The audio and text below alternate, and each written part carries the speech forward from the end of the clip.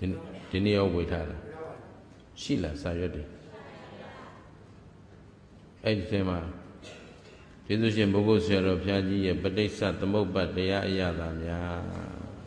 တွေ့လားကဲဒါဆိုကြည့်မနေ့ကဦးဇင်းကစာရွက်မဝေဘူးထင်လို့နော်သွားခဲ့တယ်အဲ့ဒီစာရွက်ထဲမှာဦးဇင်းတို့အရင်ဆုံးတရားမဟောခင် ကျေးဇူးရှင်ဘုဂုဆရာတော်ဘုရားကြီးရဲ့ပရိစ္ဆသမုပ္ပါတရားအရသာများဆိုတော့စာမျက်နှာ1နဲ့3မှာရှိတွေ့လား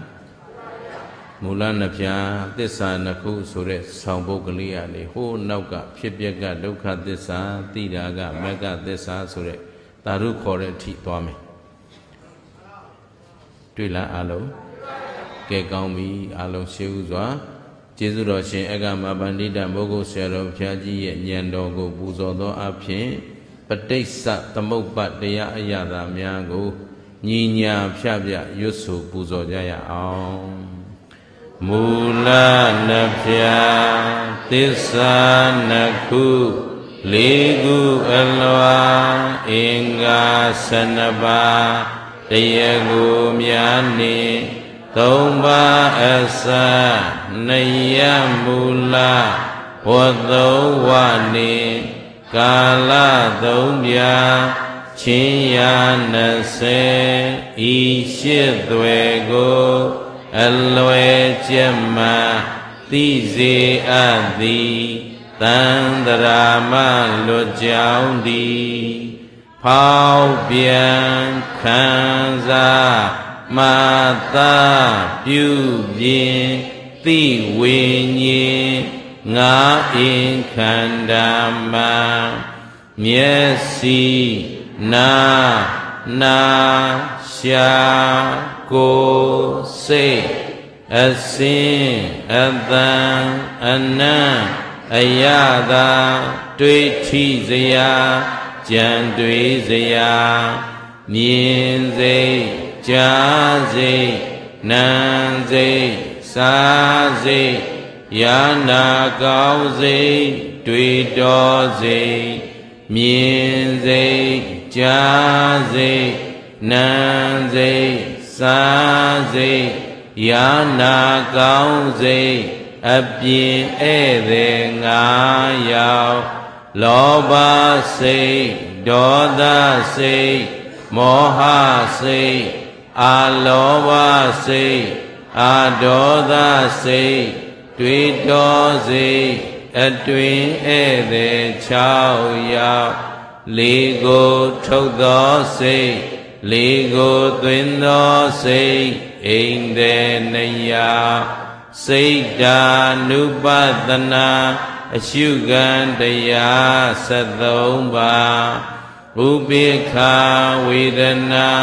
မျက်လုံးမှာပေါ်သည်ဥပိ္ခာဝေဒနာနာမှာပေါ်သည်ဥပိ္ခာဝေဒနာနှာခေါင်းမှာပေါ်သည်ဥပိ္ခာဝေဒနာရှာမှာပေါ်သည်ဒုက္ခဝေဒနာကိုမှာပေါ်သည် ဒုက္ခဝေဒနာကိုမှာပေါ်သည်အပြင်ဧည့်သည်6ယောက်သောမနတဝေဒနာမနောမာပေါ်သည်ဒေါမနတဝေဒနာမနောမာပေါ်သည်ဥပေက္ခဝေဒနာမနောမာပေါ်သည်အတွင်ဧည့်သည်သုံးယောက် ဝေဒနာနုပဒနာအရှုခံတရားကိုပါသမ္မာဒိဋ္ဌိသမ္မာသင်္ကပ္ပသမ္မာဝါယာမသမ္မာသတိသမ္မာသမာဓိသမ္မာဝါစာသမ္မာကမ္မန္တာသမ္မာအာဇီဝ လောကုတ္တရာမေခင်၈ပါးနိဗ္ဗာန်ရောက်ကြောင်းတရားအဝိဇ္ဇာနှင့်တဏှာအရင်ကံဥပါဒံကံကြောင့်ယုံနံပေါ်အပင်မာမျိုးမြို့မအပင်အမြင်မပြဆက်စတိဟံကံကြောင့်နံယုတ် နံယုတ်ကြောင့်ကံအဖန်ပန်ဖြစ်ပြန်ဤအလျောမြမာတကြစသည်များကထင်ရှားပြုပြင်စီရင်ဖန်ဆင်းအကြောင်းရင်းကြောင့်လူနာများစွာတတ္တဝါတို့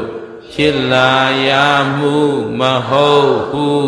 ဉာဏ်ဖြင့်ရှု၍မြော်ဖြစ်ပြသမျှသင်္ခါရဒုက္ခသစ္စာမှဖြစ်ပြမှုတွင်ငါကောင်းထင်ခင်မင်သမှုတရားမှယုံနာအလုံးဖြစ်ပြသုံးချုပ်ဆုံးနိဗ္ဗာန်မှာချုပ်ဆုံးမှုတွင်ဉာဏ်သက်ဝင်သိမြင်မဲ့ဟုမှာ ယုံကြည်ချမ်းမာစိတ်ဖြောင့်စွာဖြင့်လွန်စွာအားထုတ်နာနှင့်ယုတ်ကိုဖြစ်ချုပ်ဉာဏ်မြင်ဤငါအင်းမှန်ပေမရကြောင်းမစွန့်ကာမဆရာမရှိဝရိယယောအာအင်ပြော့ကလွန်စွာယူမှ ဤငါးပါးတရားမဲ့ဖို့ဝေးလေသည်သူတော်စီကမြတ်တရားနာလျော်စွာအကျင့်မဲ့ဖို့ကွင်ရလိဧကန္တာငါသည်မုတ်ချသေးရမည်အချိန်ပိုင်းသာလိုတော့သည် ငါသည်မုတ်ချသေးရမည်အချိန်ပိုင်းသာလိုတော့သည်ငါသည်မုတ်ချသေးရမည်အချိန်ပိုင်းသာလိုတော့သည်ဖြစ်ပြကဒုက္ခသစ္စာသိတာကမေကသစ္စာသေတာကသမုဒိယသစ္စာ နောင်ခန္ဓာမလာတာကနိရောဓသစ္စာသာဓုသာဓုသာဓု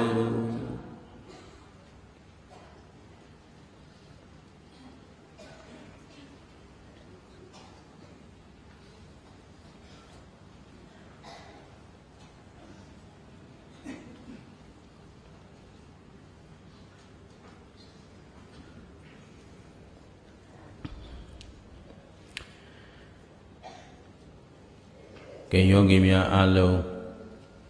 မိမိတို့ခန္ဓာကိုယ်အရိယာပုဂ္ဂလိမြတ်တစွာထိုင်ပြီးတော့အာယုန်တစ်ပါးစိတ်မသွားစေဘဲနဲ့တရားတော်ကို နာယူနိုင်ကြပါပြီယနေ့သာသနာတော်နှစ်2562ခုနှစ်ကောဇာတက္ကရာ1380ပြည့်နှစ် နတ်တော်လပြည့်ကျော်2ရက်ခရစ်နှစ်2018ခုနှစ်12လပိုင်း24ရက်နေ့ညကျေးဇူးတော်ရှင်အကမဟာပန္တိတမိုးကုတ်ဆရာတော်ဘုရားကြီးဤတရားဌာနဘဂိုတိုင်းကြောက်တကားမြို့နယ်ကျွန်းကုန်းတော်ရကျောင်းတိုက်သဘူအေဓမ္မဓမ္မဗိမာန်တော်ကြီးဓမ္မဘူဇနိယနေရာဌာန၌ ကြောက်တကံမြို့နယ်ဂောဇကံတွင်သတင်းသုံးဆံပြောတော်မူကြကုန်သောမြတ်စွာဘုရားအမှုရှိသော အရိယာနွယ်ဝင်သံဃာတော်ထေအရှင်သူမြတ်အပေါင်းတို့အားဥထိတ်ပန်စင်လျက်ကျွန်းကုန်တော်ရကျောင်းတိုက်ကျောင်းတိုက်ဆရာတော်ဘုရားကြီးအားအမှုထ၍စင်ရင်ကျင့်ပပြုလုပ်အပ်သော ကျုံကုန်တော်ရကျောင်းတိုက်ကျောင်းတိုက်ဆရာတော်ဘုရားကြီးဤသက်တော်86နှစ်ပြည့်ဝိဇာတမွေးနေ့မင်္ဂလာအထုဓမ္မဘုဇနိယအခါကာလတတိယညဓမ္မဒါနကုသိုလ်ရှင်များအဖြစ်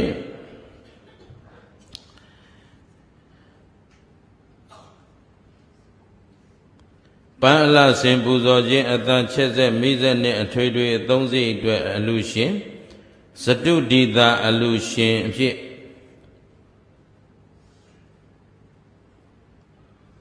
နဖက်မိဘများအားအမှုထား၍ကိုယ်စီယာထက်မအေးတိရိအောင်သမိမတ်တန်တိရိသာမောင်ကောင်းတုတ္တညံမိသားစုကြောက်ရကားမြို့နယ်ပန်းလာဆင်ခြင်းအတန်ချက်ဆက်မိဆက်နှင့်အထွေထွေသုံးစိတ်အတွက်အလူရှင်နှင့်ဓမ္မပူဇာအလူရှင်အဖြစ် ကျေးဇူးတော်ရှင်ကျွန်းကုန်းတော်ရဆရာတော်ဘုရားကြီးအားအမှုထား၍တူညီစိတ်ထားလူငယ်များ KTG ပရိဒအဖွဲ့ကြောက်ရကားမြို့နှင့်အတူကြွရောက်လာကြသောဓမ္မမိတ်ဆွေအပေါင်းသူတော်ကောင်းတို့မှစုပေါင်းလူရန်ပြုလုပ်အပ်သောဓမ္မဘူဇနိယကာလအခါသမယ၌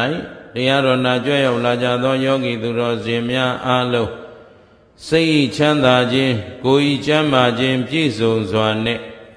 ဦးဇင်းတို့ဟောပြောပြသမဲ့သစ္စာတရားများကို နာလဲနာနိုင်ကြပါစေနာတဲ့အတိုင်းလဲသိကြပါစေသိတဲ့အတိုင်းလဲဒီဘဝဒီခန္ဓာမစွန့်ကြခင် ကိုဒုက္ခကိုလက်ဆသိမ့်အောင်ကျင့်ကြံကြိုးကုပ်ပွားများအားထုတ်နိုင်ကြပါစေလို့ရှေးဥစွာမေတ္တာပို့သပေးလိုက်ပါတယ်နော်သစ္စာတရားတော်တို့ကိုဟောကြားရာ၌ အနန္တဂုံအင်ကျေးဇူးရှင်များဖြစ်ကြသောဖရာယရဏတရားယရဏသံဃာယရဏယရဏတော်မြတ်သုံးပါးတို့နှင့်တကွအမိအဖသင်ဆရာမြင်ဆရာကြားဆရာဆရာသခင်ကျေးဇူးရှင်အပေါင်းတို့အားပူဇော်ကျေးဇူးဆက်သောအဖြစ်၎င်းဥစဉ်ဤမျက်မှောက်သို့ယနေ့တရားနာကြွရောက်လာကြသောတန်တရာဤဆွေတော်မျိုးတော်အပေါင်းတို့အားကျေးဇူးဆက်သောအဖြစ်၎င်း အထူးအဖြစ်ကျွန်းကုန်းတော်ရကျောင်းတိုင်ဆရာတော်ဘုရားကြီးဤဝိဇာတပူဇာမင်္ဂလာအဖြစ်ပူဇော်ကျေးဇူးဆက်သောအဖြစ်၎င်းယနေ့ဓမ္မအလှတော်တို့ကိုဓမ္မဒေသနာယဓမ္မပူဇနိယဓမ္မဒါနအဖြစ်ဟောကြားသွားမှာဖြစ်ပါတယ်ဤကောင်းမှုကိုနိဗ္ဗာန်ဤအထောက်ပံ့ဖြစ်ပါစေသာဟု၍အလုံးသောတတ္တဝအပေါင်းတို့ နိဗ္ဗာန်စုနတ်လူသာဓုခေါ်စေတော်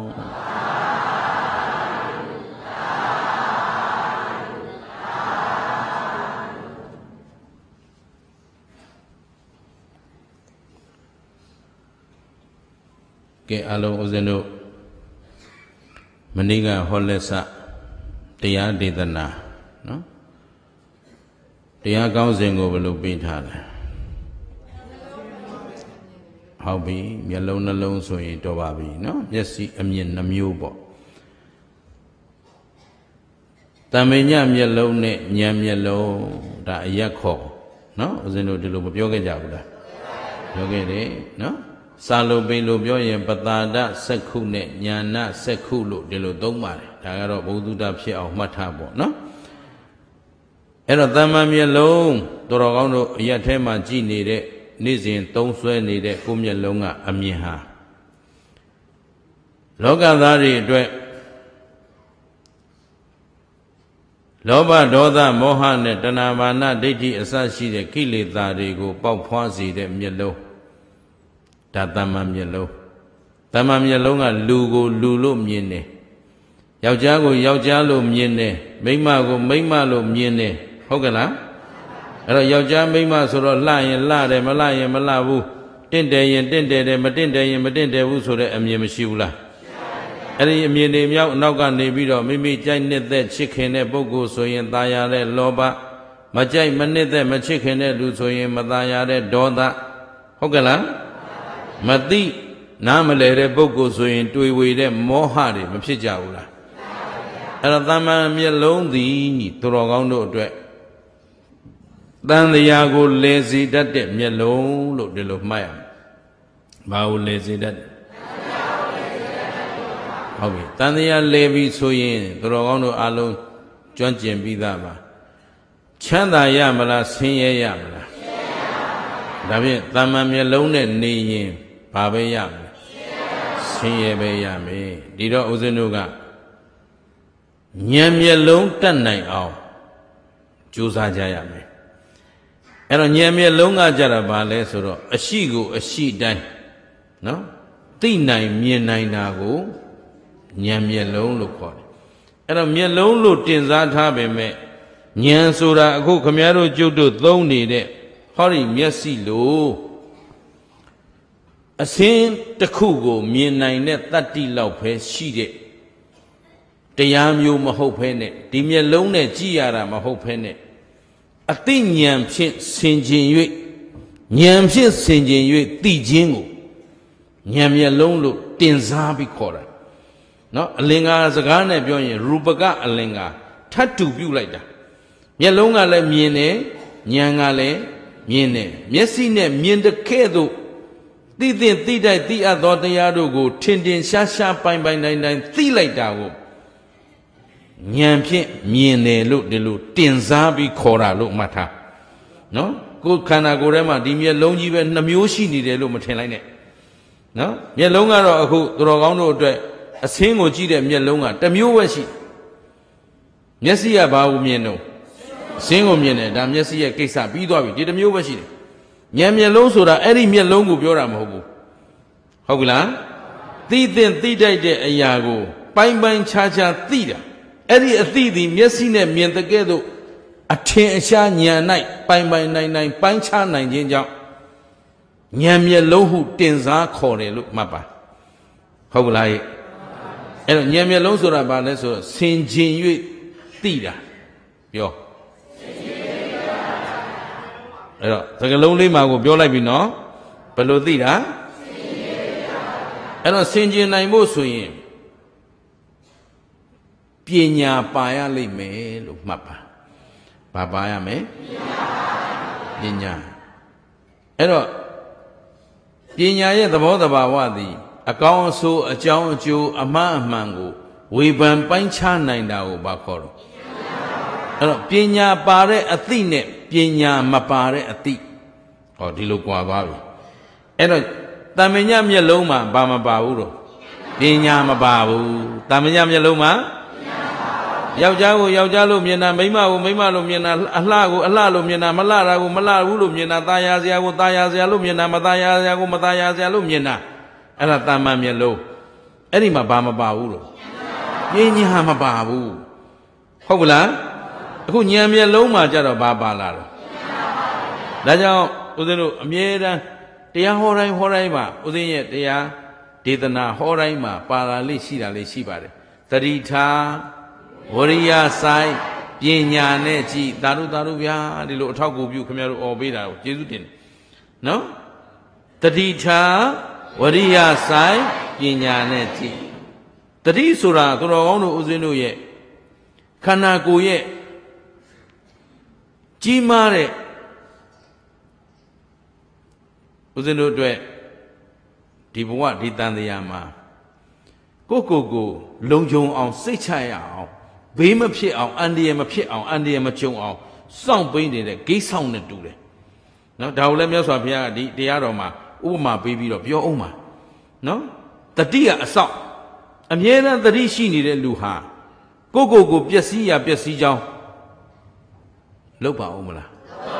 မလောက်တော့တတိရှိနေရင်အမှားမလုပ်မိဘူးအဲ့ဒီတတိကဘာနဲ့တွဲမလဲဆိုတော့ဝရိယနဲ့တွဲမယ် ဝရိယတွဲပြီးတော့တတိနဲ့ရှင်မောရှင်ဘက်ကပညာတတိပညာလို့ခေါ်တယ်ဗါတယ်ဗါတယ်တတိပညာတွဲမှဉာဏ်ဖြစ်မှာအဲ့တော့ဉာဏ်မျက်လုံးတစ်လုံးရဖို့ဆိုရင်တတိနဲ့ပညာနဲ့တွဲရမယ်အဲ့ဒီတတိပညာရဲ့အလုတ်ကိုအကောင်ထဲဖော်ပေးမှာကဝရိယဟောတတိထားဝရိယဆိုင်ပညာနဲ့ကြည့်တတိရှိတော့ဘာကြုံကြုံတတိရှိတဲ့လူကသိတယ် တတိမရှိတဲ့လူကမသိဘူးဟောသိတဲ့တတိလေးနဲ့သူနောက်ကဝေဖန်မှာကဘယ်သူနဲ့ဝေဖန်မှာပညာနဲ့ဝေဘယ်သူနဲ့ဝေဖန်မယ်ပညာနဲ့ဝေဖန်ရမယ်အဲ့တော့ပညာနဲ့ဝေဖန်ပြီးတော့မှပညာကအကောင်းဆိုးအကြောင်းအကျိုးအမှားအမှန်ကိုအဆုံးဖြတ်ပေးမယ်ဆုံးဖြတ်ပြီးရင်ဘာဆက်လုပ်မလဲအကောင်းကိုအကောင်းမှန်းသိရင်ရအောင်ယူနိုင်ဖို့အလုံးမလုံးဘဲနဲ့ရမလား အမှားအမှန်ကိုသိသွားရင်အမှန်ဖြစ်သွားဖို့အတွက်အာမထုတ်ဘဲနဲ့ရမလားဟောကောင်းမှန်းသိနေုံနဲ့လမ်းဆုံးရောက်မလားမှန်မှန်းသိနေုံနဲ့အမှန်တရားကိုလက်ကင်စားလို့မရဘူးအဲ့တော့အကောင်းအဆိုးအကြောင်းအကျိုးအမှန်မှန်ဝေဖန်ပေးတာပညာအကောင်းဆိုးအကောင်းကိုရအောင်ယူဖို့အမှန်ကိုဖြစ်အောင်လုပ်ဖို့ကဝရိယဟောဝရိယရဲ့အလုပ်ကိုကမဖြစ်သေးတဲ့အကုသိုလ်ကိုမဖြစ်ရအောင် ဖြစ်ပြီးသားကုသိုလ်ကိုပပြောင်းနိုင်အောင်မဖြစ်သေးတဲ့ကုသိုလ်ကိုဖြစ်အောင်ဖြစ်ပြီးသားကုသိုလ်တိုးပွားအောင်အကောင့်ထဲပေါ်တာဝရိယဝရိယမရှိဘဲနဲ့အလုံးမဖြစ်ဘူးရှင်းသလားအဲ့တော့ဉာဏ်မျက်လုံးတစ်လုံးပိုင်ဆိုင်နိုင်ဖို့အရေးမှကိုကသတိထားဝရိယဆိုင်ပညာနဲ့ကြည်ပြန်ပြောအဲအဲ့ဒီပညာမှာကြီးကျယ်မြင့်မြတ်တဲ့ဉာဏ်ပညာတစ်ခုရဖို့ဆိုရင် လုံလောက်တဲ့ဘဟုတုတ္တရှိဖို့လဲလိုတယ်ဒါလေးမှတ်ထားအဲ့တော့အလုံးဦးဇင်းတို့ဘဟုတုတ္တပြည့်စုံလုံလောက်မှုမရှိသေးရင်အတွေးမှအကြံမှအမြင်မှတွေလာတတ်တယ်လို့အလုံးဒီနေ့ထူးထူးလည်းလည်းမှတ်ကြဖို့ပဲနော်လုံလောက်တဲ့ဘဟုတုတ္တမရှိသေးရင်အတွေးမှမြင်မှအကြံမှ ဒါမို့အခုတရားနာတဲ့အခါဥစဉ်ကအမြဲတမ်းပေးလေးရှိတယ်ခုခင်ဗျားတို့တရားလာနာတာဘာအတွက်တရားလာနာတာလဲအနိဗ္ဗာန်ဆိုတာခဏထားအောင်အေးသာဓုသာဓုသာဓုနော်အရေးကြီးတာကနိဗ္ဗာန်ရဖို့ဆိုတာကနိဗ္ဗာန်ဆိုတာဘာလဲလို့တရားနာမှသိမှာမနေ့ကတော့ခင်ဗျားတို့သိပြီးပြန်သွားသလားမသိပဲပြန်သွားလားမသိပဲပြန်သွားတာနိဗ္ဗာန်ဘာမှမသိဘူး ဘာမှမသိသေးလို့ဒီနေ့နိဗ္ဗာန်ကိုရွရွချွန်ချွန်လှုပ်တဲ့လူမရှိသေးတာပေါ့ဗျခုခင်ဗျားတို့ရောရှိပြီလားရှိသေးပါဘူးနိဗ္ဗာန်မရရင်သေတော့မယ်ဆိုတဲ့လူရှိထမင်းမစားရင်သေတော့မယ်ဆိုတဲ့လူလားရှိတာနိဗ္ဗာန်မရလို့သေမဲ့သေမဲ့လူရှိဒီပြီးတော့ဒီဘဝမှာမညံဖွညာမရရင်နော်သေလိုက်တာမှမြတ်ပါဦးမယ်ဖះလို့ရွရွချွန်ချွန်လှုပ်နေတဲ့လူရှိပါဘူးဘာလို့ဆိုနိဗ္ဗာန်ဘာမှမသိဘယ်သူမှမလို့ခြင်းဘူးနော်အပြောအရဗုဒ္ဓဘာသာမို့လို့မကောင်းတဲ့လို့နိဗ္ဗာန်နတ္တပစ္စယောလှုပ်နေတာ ခုနခင်ဗျားတို့ဆူတောင်းတဲ့ထဲမှာကိုပါတယ်နိဗ္ဗာန်ဦးစားပေးမဟုတ်ဘူးအဆုံးစွန်သောဘဝနောက်ကာလ၌အဆုံးစွန်ရဲ့ဟိုဘက်နောက်ကြမှာလိုချင်တာဒီနိဗ္ဗာန်ကခုလိုချင်တာမဟုတ်ဘူးခင်ဗျားတို့တောင်းတဲ့စုမှာကိုကခင်ဗျားတို့အသိဉာဏ်မပါဘူးဆိုတဲ့အဖြေထွက်နေရှင်းလားအဆုံးစွန်ရဲ့ဟိုဘက်ကိုခင်ဗျားတို့ကနောက်ကြရှင်သေးတာအဆုံးစွန်သောဘဝနောက်ကာလ၌ဟောလာတာကဘယ်သူကသင်ပေးလိုက်တယ်မသိဘူးအဲ့ဒါကြောင့်အာဟောလို့မဆုံးဘူးဟမ်အဆုံးစွန်ဆိုတော့လမ်းဆုံးနေပြီ အဲ့ဒီဆုံးတဲ့ဟိုကိုဟိုဘက်နောက်ကိုကြအောင်မှာခင်ဗျားတို့ကအခုလိုချင်တယ်လို့မပါဘူးနိဗ္ဗာန်မဲ့ဖို့ရက်တူလိုနဲ့ဆိုတဲ့လူလည်းမပါဘူးနိဗ္ဗာန်မဲ့ဖို့ကိုမကြခင်မျက်မှောက်ပြုရပါလို့ဤဖျားလို့ဘယ်သူမှမတောင်းရှင်းလားဘာမပါလို့ညံမပါလို့ခင်ဗျားတို့တောင်းနေတဲ့စုမှာကိုညံမပါဘူးဆိုတဲ့အဖြေထွက်နေသဘောပါလားကြည်ရောကြည်နဲ့သလား အဲ့တော့လုံလောက်တဲ့ဘ ഹു တုတ္တရှိဖို့လိုအပ်တယ်တဲ့ဘ ഹു တုတ္တမပြည့်စုံရင်ပညာကမှန်ကန်တဲ့ဆုံးဖြတ်ချက်ကိုမချနိုင်မချနိုင်တော့အခုတရားနာတာဘာလို့ဖို့လဲဆိုတော့တရားသိဖို့လို့ပြောရတာဘာလို့ဆိုတရားမသိသေးပဲနဲ့တရားအသိမရှိသေးပဲနဲ့အကောင်းအဆိုးလည်းမဝေဖန်တတ်ဘူးအမှားအမှန်လည်းမဝေဖန်တတ်ဘူးအကြောင်းအကျိုးလည်းမသိဘူးနောက်ဆုံးတစ်ချက်ကလေးကြံတယ်ဆင်းရဲချမ်းသာဘယ်ဟာဆင်းရဲဘယ်ဟာချမ်းသာလို့မသိဘူး မသိရင်ခင်ဗျားတို့ဓမ္မလမ်းကြောင်းပေါ်ရောက်ပါမလားဓမ္မလမ်းကြောင်းပေါ်မရောက်ဖဲနဲ့ခုနကမဲ့ဖို့နိဗ္ဗာန်ဆိုတာလှမ်းမြော်လို့မရနိုင်ဘူးရှင်းမလားဒါကြောင့်တရားနာတာဘာလို့ဖို့တရားသိဖို့ပြန်ပြောတရားသိဖို့ဆိုတာတရားဆိုတာတစုံတဦးတယောက်ကပြုပြင်စီရင်ဖန်ဆင်းထားတာလားဒါဖြင့်တရားဆိုတာဘယ်လိုမျိုးတော့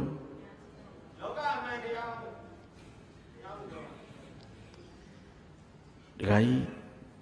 စူးစမ်းပန်းစားဖြေနေတာသိကောင်းတယ်အားလုံးလည်းမှတ်ထားပါနော်ဦးစင်းမေးနေတာအကြောင်းရှိပါတယ်တရားဆိုတာမှတ်ထားတဘာဝနိယာမအမှန်ဟောဗါတဲ့တဘာဝဆိုတာသူ့တဘာဝအတိုင်းဖြစ်နေတာ ခင်ဗျားတို့ဘသူကမှပြုပြင်စီရင်ထားတာဟုတ်နောက်နိယာမကောင်းတာလို့ရင်ကောင်းချိုးပေးတယ်မကောင်းတာလို့ရင်အဲ့တော့ခုမကောင်းမှုခမရတို့အာကုသိုလ်လှုပ်လိုက်လို့အပယ်လေးပုံရောက်သွားအောင်ယမမင်းကြီးကခမရတို့စီစဉ်လိုက်တာလားအဲ့ဒီအာကုသိုလ်ကဘသူကဘယ်အပြစ်ကိုခံလို့ဒီခုကိလူလေလုံနေတဲ့တရားသူကြီးတွေလို့ထောင်ပနှစ်နှစ်သွားစေအလုတ်ကျမ်းပဲနဲ့ဘလောက်ခန့်နေဘယ်နှရက်လှုပ်စေလို့ခတ်တီတီနဲ့ထားအမိန်ချသလို နော်ခမရတို့အာကုသိုလ်ဘသူကအမိန်ချဘသူကမှအမိန်ချတာမဟုတ်ဘူးပြုခဲ့တဲ့ကိုပြုခဲ့တဲ့စေတနာဇောရှိသလောက်အဲ့ဒီအာကုသိုလ်အပြစ်ကိုခံရမယ်အဲ့ဒါနိယာမဗါတဲ့ကောင်းတာလုပ်ရင်အဲ့ဒီကောင်းတာလုပ်ရင်ကောင်းကျိုးပေးဖို့ကတရားမင်းကြီးကစီစဉ်တာလားဒါမှမဟုတ်မြတ်စွာဘုရားကစီစဉ်တာလားခင်ဗျားတို့ကကတရားတို့ဘာလို့ဆိုရင်ခင်ဗျားတို့ကဟိုတရားမင်းကြီးကအကြိုနေကြဆင်းလာတယ်တဲ့ ဆင်းလာပြီးတော့ပရပိုက်ကြီးနှစ်ခုပါလာတယ်ရွှေပရပိုက်ကြီးရယ်ခွေးပရပိုက်ကြီးရယ်ခွေးရည်ပရပိုက်ရယ်နော်ကုသိုလ်ကောင်းမှုလုပ်တဲ့လူတွေကြရွှေပရပိုက်နဲ့မှတ်တယ်တဲ့အကုသိုလ်လုပ်တဲ့ကြခွေးပရပိုက်ဆိုတော့သူ့ပရပိုက်တောင်နိုင်မှာမဟုတ်ဘူးသူစရင်ဟမ်နည်းနည်းလုံနေတဲ့စိတ်ကအခုအခုဘွက်ပေါက်နေတာအခုကုသိုလ်လုပ်နေပြီမဲ့ခဏနေအကုသိုလ်ဖြစ်ခြင်းဖြစ်နေတာနော်အဲ့ဒါနင်းတရားမင်းအလကားနေလိုက်မှရအောင်သူစီသူတရားစီးစိမ်ခံစားခြင်းတော့ရမှာမဟုတ်ဘူးအဲ့တရားကွန်ပျူတာနဲ့လိုက်မှတ်တော့မှီမှာမဟုတ်ဘူးအဲ့ တရားဘာကိစ္စနဲ့ရှာရှည်ပြီးမင်းတို့လုတ်တော့မှတ်ရမှာလေမျိုးသားမအောင်နော်အဲ့ဒါဗျံပရာအယူချီပန်းဟိုဗြမဗြမနာတွေကနင်တို့ယုံအောင်လျှောက်ပြီးတော့ပုံသွင်းထားတာဘယ်သူမှနင်တို့ကုသိုလ်အကုသိုလ်မှတ်တာမဟုတ်ဘူးနင်တို့ကိလေသာမှတ်ထားတာရှင်းမလားနိယာမကိုပြုတ်ထားတဲ့အကုသိုလ်သည်ကိုအကုသိုလ်ကံအရှိန်စော်ရှိသလောက်အကျိုးပေးမယ်ကိုပြုတ်ထားတဲ့ကုသိုလ်သည်ကုသိုလ်အရှိန်စော်ရှိသလောက်အကျိုးပေးရမယ် အဲ့ဒါဘယ်သူကမှစီစဉ်ထားတာမဟုတ်ဘူးနိယာမတရားလောကမှာဖန်ဆင်းရှင်ဆိုတာလည်းမရှိဘူးတကောရှင်ဆိုတာလည်းမရှိဘူးပြုပြင်သူဆိုတာလည်းမရှိဘူးပျက်စီးသူဆိုတာလည်းမရှိဘူးရှင်းမလားကြည်ရောကြည်နေဗလားကောင်းတာလုပ်ရင်ကောင်းချိုးပေးမယ်မကောင်းတာလုပ်ရင်အဲ့ဒါနိယာမ natural phenomenon တဘာဝအတိုင်းဖြစ်နေတာအကြောင်းအကျိုးတဘာဝကြီးကောင်းတာလို့ရင်ကောင်းကျိုးကျိုးပေးတယ်မကောင်းတာလို့ရင်မကောင်းကျိုးပေးတယ်ရှင်းရလား အဲ့တော့တဘာဝနိယာမအမှန်ဟောဘယ်သူကမှပြုပြင်စီရင်ထားတာမဟုတ်ဘဲနဲ့နိယာမအတိုင်းမှန်နေတဲ့အမှန်တရားအခုခင်ဗျားတို့ခန္ဓာဘယ်နှပါးအဲ့ဒီခန္ဓာ၅ပါးဘာသစ္စာတော့အဲ့ဒီဒုက္ခသစ္စာကိုမြမကြီးကလှုပ်ထားတာလားဟမ်မိုးနာမင်းကြီးကလှုပ်တာလားဒါဆိုကိုကြီးကြော်ထင်တယ်မန်နဲလေးဟမ်ဘိုးဘိုးအောင်ဘိုးဘင်းကောင်အယူချီပန်းတိုင်းပြီ ခန္ဓာ၅ပါးဒုက္ခသစ္စာဖြစ်အောင်ဘယ်သူလုပ်တော့အကြောင်းတရားနဲ့ကိုယ့်ဟာကိုယ်လို့လည်းသွားမလို့နဲ့ကိုယ့်ဟာကိုယ်ဆိုနေလို့ဒိဋ္ဌိပြောတာဒီတရားဘုရားတော်မှာမဟုတ်ဘူးငါဆရာတော်ကြီးနောက်ထပ်15ရက်လောက်တရားဝဲပေးရမယ်ကျေးဇူးရှင်ကျုံးကုန်းဆရာတော်ကြီးကဦးစင်းကိုတောင်းပန်မှုပါငါ9ရက်လောက်ပေးกว่าတယ်အားမရဘူးလေဆရာတော်ကြီးကနော်ဦးဇင်းကလည်းပေးခြင်းတယ်တကယ်ဒီနိဗ္ဗာန်ရောက်ကြောင်းတရားတွေကိုပဲဟောရတာဦးဇင်းကသိအားရ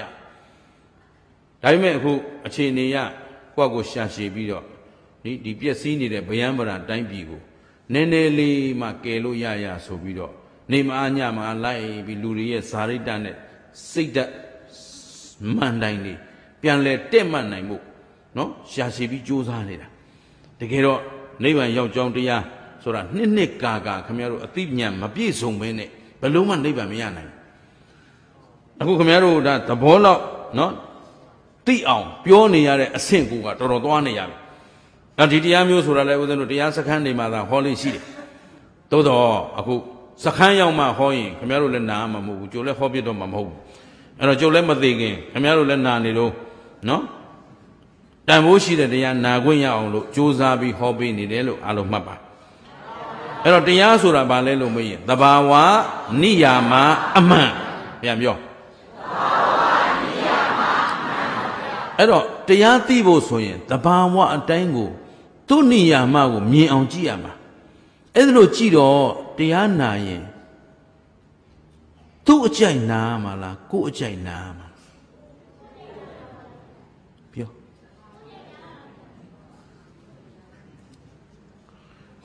ဓမ္မဂတိကဆရာတော်အကြိုက်နာမှာလားမင်းတို့အကြိုက်နာမှာ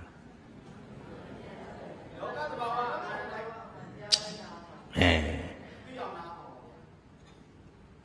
တာတို့တာတို့တာတို့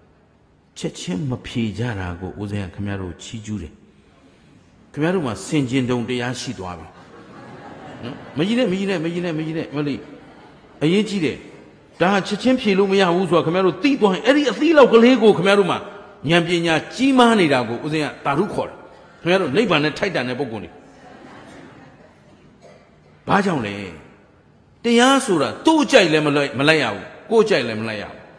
ဥတုမင်္ဂလာအကြိုက်ဒီနေ့ခင်ဗျားတို့အာမဘန်းဒီနောက်ကဘာအရှင်ဖျားထဲ့တာကိုဦးဇင်းမထဲ့နဲ့လို့မပြောဘူးလားအဲ့ဒါကျုပ်အကြိုက်ပြင်ခိုင်းနေတယ်ထင်လားခင်ဗျားတို့ဟမ်ခင်ဗျားတို့တောင်းတော့ကလည်းအဟံမန္တိတိတရဏိနာသဟအထင်ကသမဏကရံဆိုတာပါဠိလိုမကရလိုတောင်းတာ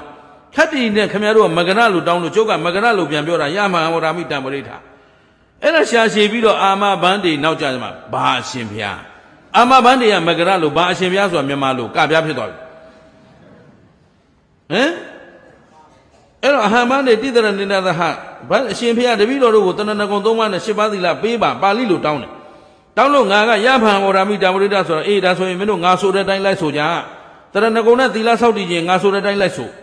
ကျွန်တော်တို့ပြောမှာအာမဘန်းတေဘန်းတေဆိုတာအရှင်ဘုရားအာမဆိုတာလိုက်ဆိုပါမယ်မြန်မာလိုဘာသာပြန်ရင်လိုက်ဆိုပါမယ်အရှင်ဘုရားလို့အပြည့်စုံပါပြီသားအဲ့ဒါကိုခင်ဗျားတို့ကမယိုသေးရကြမှာဆိုလို့အာနာသလိုလိုနော် အာမဘန်းတေတွေဖြတ်လိုက်ရရင်ဘုန်းကြီးတွေပေါ်မှာရိုင်းသလိုလိုခင်ဗျားတို့ဘန်းတေကိုပါပြောလို့ပြောမှမသိပဲကိုဘန်းတေဆိုတာအရှင်ဘုရားအဲ့တော့အာမဘန်းတယ်လို့ပြောရင်လုံလောက်နေပြီးသားပြည့်စုံပြီးသားကိုဘာအရှင်ဖျားဘာဤအရှင်ဖျား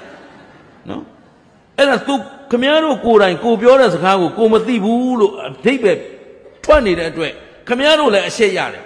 တင်တဲ့ဆရာသမားတွေလည်းအရှက်ရတယ်သူများမရှက်ပေမဲ့ကြုတ်ရှက်တယ် ဒီဘုန်းကြီးကိုယ်တိုင်ကအာမဘန်းတယ်မသိလို့ခမည်းတော်ကနောက်ကဘာအရှင်ဖျားထည့်ပေးရသလိုလိုကျုပ်ကဘာသာပြန်ကြမလို့ဘူး gain ပြီးရောဒါဖြင့်ကြုတ်ကြိုက်လားခမရတို့ပြင်သင့်နေတာလားပြင်သင့်ပါပါဘုသူမင်္ဂလာတရားဟောနေတာအခု24နှစ်ရှိပြီတိသင့်တိတိုက်တိအတ္တနဲ့ပြင်သင့်တာကိုပြောနေတာကြုတ်ကြိုက်ဘာတစ်ခုမှပုံမဖော်ဘူးကြုတ်ကြိုက်ဆိုတော့ကျုပ်ကတော့အိတ်နေရတာနဲ့စားနေရတာနဲ့ဂီတာတီးသချင်းဆိုတာပဲကြိုက်တယ်ကြံတယ်မကြိုက် ဟမ်သဘောပါလားဘယ်လိုအကျိုးရှိမဲ့အလုပ်တန်ဖိုးရှိမဲ့အလုပ်ကိုပြင်ပေးတာအဲ့ဒါကိုဓမ္မဂတိကခေါ်တယ်တရားဟောဆရာကခေါ်တယ်မှားနေရင်ပြင်ပေးရမယ်ချွတ်ချော်တိန်းဆောင်းနေရင်တဲ့ပေးရမယ်သဘောပါလားအဲ့ဒါကိုခင်ဗျားတို့ကအကျင့်ပါနေလို့ဖျားဆိုတော့အမှားကြီးကိုအကျင့်ပါတဲ့သွားနေအတိုင်းသွားနေမင်းတို့ဘယ်တော့မှလမ်းမှန်မရောက်ဘူးမှားတာကိုသိရင်ပြင်ကျင်တဲ့စိတ်ပြင်လို့တဲ့ဆန္ဒ အကောင်းဆုံးဖြစ်ရမယ်လို့ခင်ဗျားတို့စိတ်ထဲမှာအမြဲတမ်းတက်ကြွနိုးကြနေတဲ့စိတ်တွေရှိမှလမ်းမှန်ပေါ်ကိုရောက်မယ်အကောင်းတရားကိုရမယ်ရှင်းမလားရှင်းပါဗျာအဲ့တော့အခုတရားနာတယ်ဆိုတာလဲဘုန်းကြီးတရားဟောဘုန်းကြီးအကြိုက်လဲခင်ဗျားတို့လိုက်เสียမလို့ဘယ်ဘုန်းကြီးကဘယ်လိုပြောတယ်လမ်းမဆုံးစေနဲ့အမှန်တရားသိအောင်လုပ်အဲ့လိုလမ်းဆုံးနေတော့မိုးကုတ်ကဘယ်လိုမဟာစီကဘယ်လိုသဲဟင်းကဘယ်လိုတော်တော်ကူကဘယ်လိုနဲ့ခင်ဗျားတို့ရံဖြစ်ပြီးတော့လမ်းဆုံးတယ်ပြီးရော ဘသူနောက်မှလိုက်ဆရာမလို့အမှန်တရားသိအောင်လို့သူ့ကြိုက်လည်းမလိုက်နဲ့ကိုယ်ကြိုက်လည်းမလိုက်နဲ့ရှင်းမလားဦးဇင်းကဓမ္မနိယာမကိုပြောတော့မိုးကုတ်ဆိုတာမိုးကုတ်တရားဆိုတာမရှိဘူးမိုးကုတ်ဝိပဿနာဆိုတာမရှိဘူးဒီလိုပြောတော့မိုးကုတ်အဖွဲ့ကျုပ်မကြိုက်ဘူးမကြိုက်လို့လဲသေးပြီအမှန်တရားကိုကျုပ်သိအောင်ပြောတာတရားအလုံးရဲ့ပိုင်ရှင်ဟာဘာလို့လဲမြတ်စွာဘုရားမြတ်စွာဘုရားကအဥ္စဟုတ်ပြီနော်သို့တော်ပိုင်ရှင်လို့တင်စားခေါ်ပေမဲ့ဒီတရားတွေမြတ်စွာဘုရားပိုင်တာလား မပိုင်ဘူးမြတ်စွာဘုရားလည်းသူ့အကြိုက်ပြောသွားတာလားနိယာမပြောသွားတာလားတရားဟောဆရာမှန်ရင်နိယာမပဲပြောရမှာရှင်းလားတကယ်ကတရားနိယာမနိယာမသဘောကိုခမည်းတော်အကြိုက်လည်းမပါစေနဲ့တချို့ကလာလျှောက်တယ်ရှင်ဖျားတဲ့ရှင်ဖျားတရားတွေဒီလိုတော့သိကြိုက်တာဆိုအဲ့ဒီကလွဲနေပြီ तू ကတော့ကျုပ်ကျုပ်ကိုအားရှိအောင်တနည်းအားဖြင့်ချီးမွမ်းခြင်းလို့လာလျှောက်တာဒါပေမဲ့ तू ပြောတဲ့စကားမှာကိုမှားနေပြီဖြစ်တဲ့အတွက်ကိုကိုကိုယူကြုံမရဖြစ် ခုဦးစင်းဘယ်တော့မှဦးစင်းတရားလို့နာမည်မတက်ဘူးဒီနေ့တရားတွေအကုန်လုံးဟာပိဋကသုံးပုံမှာလာတဲ့တရားတော်တွေကိုခမရတို့တဆင့်ပြန်ဖောက်တင်ချတာအဲ့ဒါတရားပိုင်ရှင်ကဘယ်သူပဲတော့ညံစွာဘုရားတရားတွေပြန်ပြီးတော့ဟောတာကျုပ်တရားမဟုတ်ဘူးအရှင်ဘုရားပြောပြလို့တပည့်တော်တို့တရားသိခွင့်ရတာဆိုရင်ဒါအမှန်ရှင်းလားအဲ့တော့ရှင်ဘုရားသိကြိုက်တာရှင်ဘုရားပြောသလိုမျိုးတပည့်တော်တို့ကအရှင်ဘုရားနဲ့သိတူတာဆိုတော့သူအကြိုက်ချင်းတူနေ အဲ့တော့ကျုပ်ဒေါသကြီးတော့သူလည်းဒေါသကြီးတယ်လို့ပြောတာပဲကျုပ်လောဘကြီးခင်ဗျားတို့သူလည်းလောဘကြီးတယ်လို့ပြောတာဆိုတော့ကိလေသာချင်းတူတာကိုလာပြီးအကြိုက်ချင်းတူတယ်ပြောနေတော့ကျုပ်ကလောရတဲ့တရားပြတဲ့ဆရာလို့ရတာဘိုင်းဘိုင်းလဲသေးလိုက်ဖို့ပဲကောင်းတယ် तू ကကျုပ်ကိုချီးမွမ်းနေတာတကယ်တော့ကျုပ်အဲ့နာနဲ့ရှက်လို့သေးတော့တော့ပါလားတချို့ဒါဥတုမင်္ဂလာအဆိုမိတ်မလုပ်လိုက်ကြပါနဲ့ကွယ်ငါဒဲအိုးဂျွန်းပြည့်ရောက်နေပါဦးမယ်ငါအဆိုမိတ်မဟုတ်ပါဘူးမြတ်စွာဘုရားစကားကိုအဆင်ပြေအောင်ဘာသာပြန်ပေးထားတာ ကြီးကျယ်ပြီးတော့ဘယ်ဆရာတော့အဆိုဘယ်ဆရာတော့အမိတ်အော်လို့မဆုံးသဘောပါလားတကယ်မြတ်စွာဘုရားတရားတော်တွေထဲကနေခမည်းတော်ကိုစီလီအောင်ဘာသာပြန်ပေးထားတာကျုပ်တို့အဆိုမိတ်မဟုတ်ဘူးသဘောပါပြီလားအခုခင်ဗျားတို့တရားနာတဲ့အခါမှာဘု து အကြိုက်လိုက်နာမလို့အေး ဘု து အကြိုက်မှမလိုက်နဲ့တဘာဝနိယာမအမှန်သိအောင်လုံးရှင်းမလားရှင်းပါပါအခုကြည့်အဲ့ဒီပြဿနာပဲမနေ့ကဟမ်နော်ဆက်သွားကြအောင်ဆိုတော့じゃမပြီးမှဆိုတော့ခုနိုင်ဝက်ရှိသွားပြီတရားစကိုမစသေးဘူးနော်ယဟန်လေးကအမြင်မှန်လိုခြင်းလို့သူမတောင်းဘူးလားဘိက္ခုနံဒသနံသုဝိသုတ်တံဟောတိဆိုတာဒသနံဆိုတာအမြင် သုဝိသုတ်တံဆိုတာစင်ကြယ်ခြင်းအမြင်စင်ကြယ်တယ်ဆိုတာတကယ်တော့တက်ရိုက်ပြောရင်နိဗ္ဗာန်မြင်တာပဲဟုတ်ပြီနော်မက်ဖို့နိဗ္ဗာန်မြင်တာပဲတနည်းအားဖြင့်အရှိအမှန်တရားကိုတကယ်သိသွားတာဒါအမြင်မှန်ရသွားတယ်လို့ပြောတယ်အဲ့တော့အမြင်မှန်ဆိုတာသူကဘာအမြင်ကိုညွှန်းတာလဲဉာဏ်အမြင်ဘာအမြင်အဲ့ဒီဉာဏ်အမြင်စင်ကြယ်ဖို့ဘယ်လိုလုပ်ရမလဲလို့ तू မမေးဘူးလားမေးတော့ပထမယဟန္တာကြီးကဘယ်လိုဖြေတော့ အေးဖတ်တာ6ပါးဖြစ်ပြက်ရှုရင်ဟုတ်ကလားဖတ်တာ6ပါးသာဖြစ်ပြက်မြင်ရင်မင်းနိဗ္ဗာန်မြင်တာပဲကွာကဲဒီလိုသားပြောလိုက်ကြတော့တို့အရက်ခေါ်ခေါ်တာပဲပြောတယ်စာလို့ပြောရင်မင်းတို့နဲ့ငါတို့ဝေးနေပြီနော်ဖတ်တာ6ပါးဖြစ်ပြက်မြင်ရင်ဗာမြင်တော့အေးဖြစ်ပြက်သာရှုဖြစ်ပြက်မြင်ရင်မင်းနိဗ္ဗာန်မြင်ပါပဲသူကျင့်တတ်သလားကျင့်တတ်ဖို့ဘောင်းဆိုသူကဘာလို့မကျင့်တတ်တာလဲဆိုတော့သူ့အကြိုက်နဲ့ကြိုက်နေတာ နော်သူ့အကြိုက်နဲ့ရှင်ကြည့်နေတာနော်သူကြိုက်တာကခန္ဓာ၅ပါးအာယတနာဓာတ်ပိဋက၃ပုံပါမရှိဘူးလားရှိတယ်အဲ့တော့ဓမ္မခန္ဓာပေါင်း8400တွေကပိဋက၃ပုံပါနိဗ္ဗာန်ရောက်ကြောင်းအကျင့်ဆိုတာမဂ္ဂင်၈ပါးရှိတယ်တတိပဋ္ဌာန်တရား၄ပါးရှိတယ်သမ္မပဋ္ဌာန်တရား၄ပါးရှိတယ်အိန္ဒြေ၅ပါးရှိတယ်ဘုံ၅ပါးရှိတယ်ဘုဇင်9ပါးရှိတယ်ဘောဓိပက္ခိယ38ပါးနဲ့ရှင်ပြီးတော့ဟောမလားဘာလားညာလားပေါ့ तू ကတော့ သူ့ပေတာနဲ့ तू တိုင်းနေတာဟိုကနိဗ္ဗာန်မြင်ခြင်းရင်ဘယ်လိုလုပ်ရမလဲလို့ तू မမေးဘူးလားမေးတော့နိဗ္ဗာန်မြင်ခြင်းဒီလိုလုပ်လို့သင်ပေးလိုက်တာဟုတ်ကလားဟဲ့အဲ့ဒီမှာမဂ္ဂင်၈ပါးတို့အိန္ဒြေ၅ပါးတို့ဘုံ၅ပါးတို့ဘုဇွင်9ပါးတို့ထည့်ပြောသလားမပြောဘူးနိဗ္ဗာန်မြင်ခြင်းမေခန္ဓာဒီဖတ်ဖတ်တာယရဏ6ပါးကိုမေဖြစ်ပြမြင်အောင်ရှုအာယရဏ6ပါးပဲပြောပြောနော်ဒွါရ6ပါးပဲပြောပြောကြိုက်တာရှုသူဖြစ်ပြမြင်ရင်ဘယ်ရောက်မလို့ နိဗ္ဗာန်ရောက်မယ်နိဗ္ဗာန်မြင်မယ်မပြောလိုက်ဘူးလားပြောလိုက်တယ် तू ကသူ့ကြိုက်သူ့ပေတာနဲ့တိုင်းပြီးတော့ဟိုဆရာတင်တဲ့ဟာကိုတကယ်ညံထဲမှာခန္ဓာနဲ့ရှင်ပြီးတော့ကြည်တာလားသူ့အကြိုက်နဲ့ကြိုက်နေတာလားသူ့အကြိုက်နဲ့လိုက်ညှိနေတာသူ့ပေတာနဲ့လိုက်တိုင်းနေတာရှင်းသလားရဲ့အဲ့တော့ဆရာညွှန်းတဲ့အတိုင်း तू လုပ်သလားမလုပ်ဘူးမကျေနပ်ဘူးလေမကျေနပ်တော့အရှင်ဖျားလို့နောက်ထပ်နိဗ္ဗာန်မြင်နိုင်တဲ့ပုဂ္ဂိုလ်တွေရောရှိသေးလားအရှိတယ်ကွာသွားမင်းဟုတ်မယ် ဒါငါတငယ်ချင်း तू လည်းနိဗ္ဗာန်မြင်ပြီးသားပဲထပ်မေးတယ်ဒုတိယယဟန်ဘယ်လိုဖြေလို့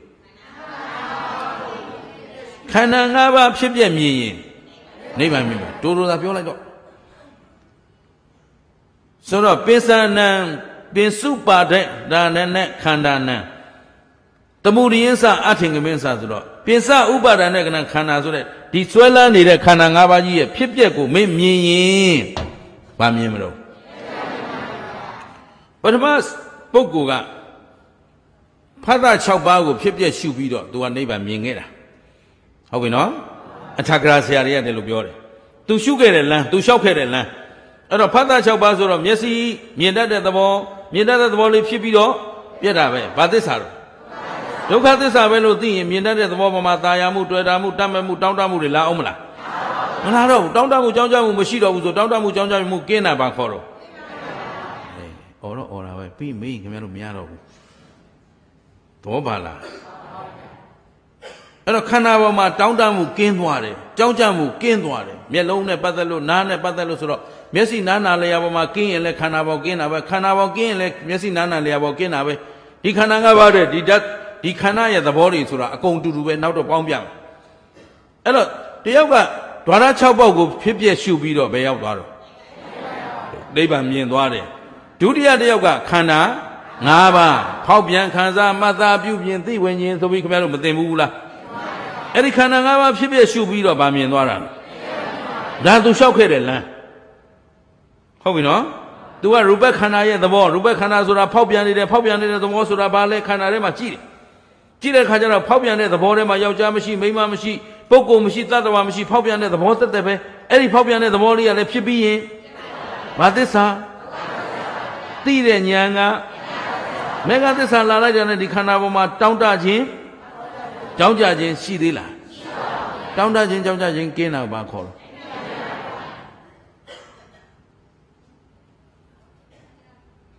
အဲ့တော့ခန္ဓာပေါ်မှာကန့်ညိနေတဲ့ကိလေသာကင်းသွားတာနဲ့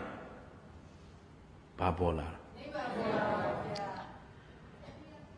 အဲ့ဒီနိယာမလေးကိုဟိုကပြောပြလိုက်တာငါတော့ခန္ဓာဖြစ်ဖြစ်ရှူရင်းနဲ့နိဗ္ဗာန်မြင်ခဲ့တယ်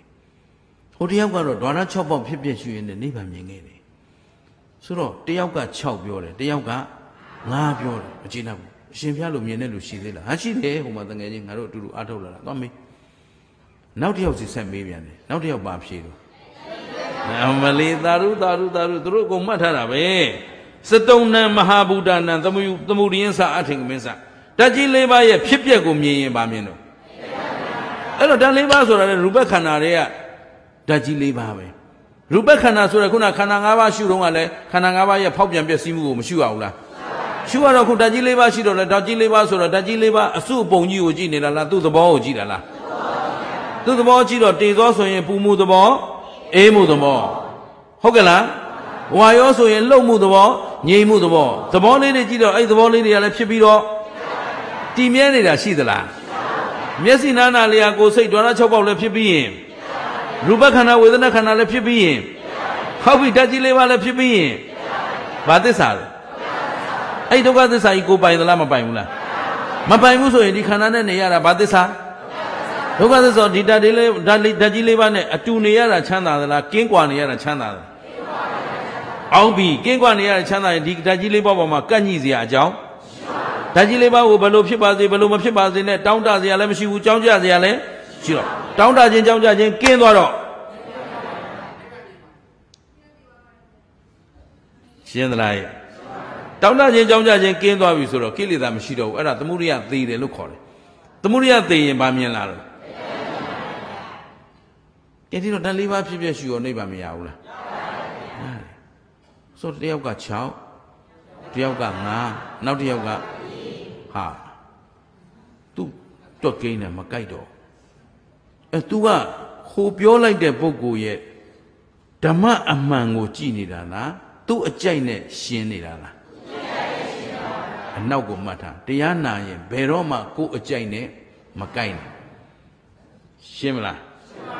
ဒါကြောင့်ဦးဇင်းကခုနမေးတာသူ့အကြိုက်နာမလားကိုယ်အကြိုက်နာမလား အေးတဘာဝနိယာမအမှန်သိအောင်လုပ်ရမှာပြန်ပြောဒါကခင်ဗျားတို့နားလည်အောင်ပြောလိုက်တာတလုံးနဲ့ပြောရင်တရားနာတာဘာလို့ဖို့လို့ဆိုတော့တရားသိဖို့ပဲပါတယ်ပါတယ်အဲ့တော့သူ့ကြိုက်ကိုကြိုက်နားမှာလားတရားသိအောင်နားမှာလားဒါပဲတရားအထုတ်တဲ့ခါကြတော့လေခင်ဗျားတို့အခုဒီထဲမှာတရားအထုတ်ဖူးတဲ့ပုံကိုယ်တွေပါလားဘာတော့တရားအထုတ်တဲ့ခါကြတော့ မညံဖုန်ညာရဖို့ဆရာသမားအကြိုက်ဖြစ်ဖို့ကိုလိုချင်တာရဖို့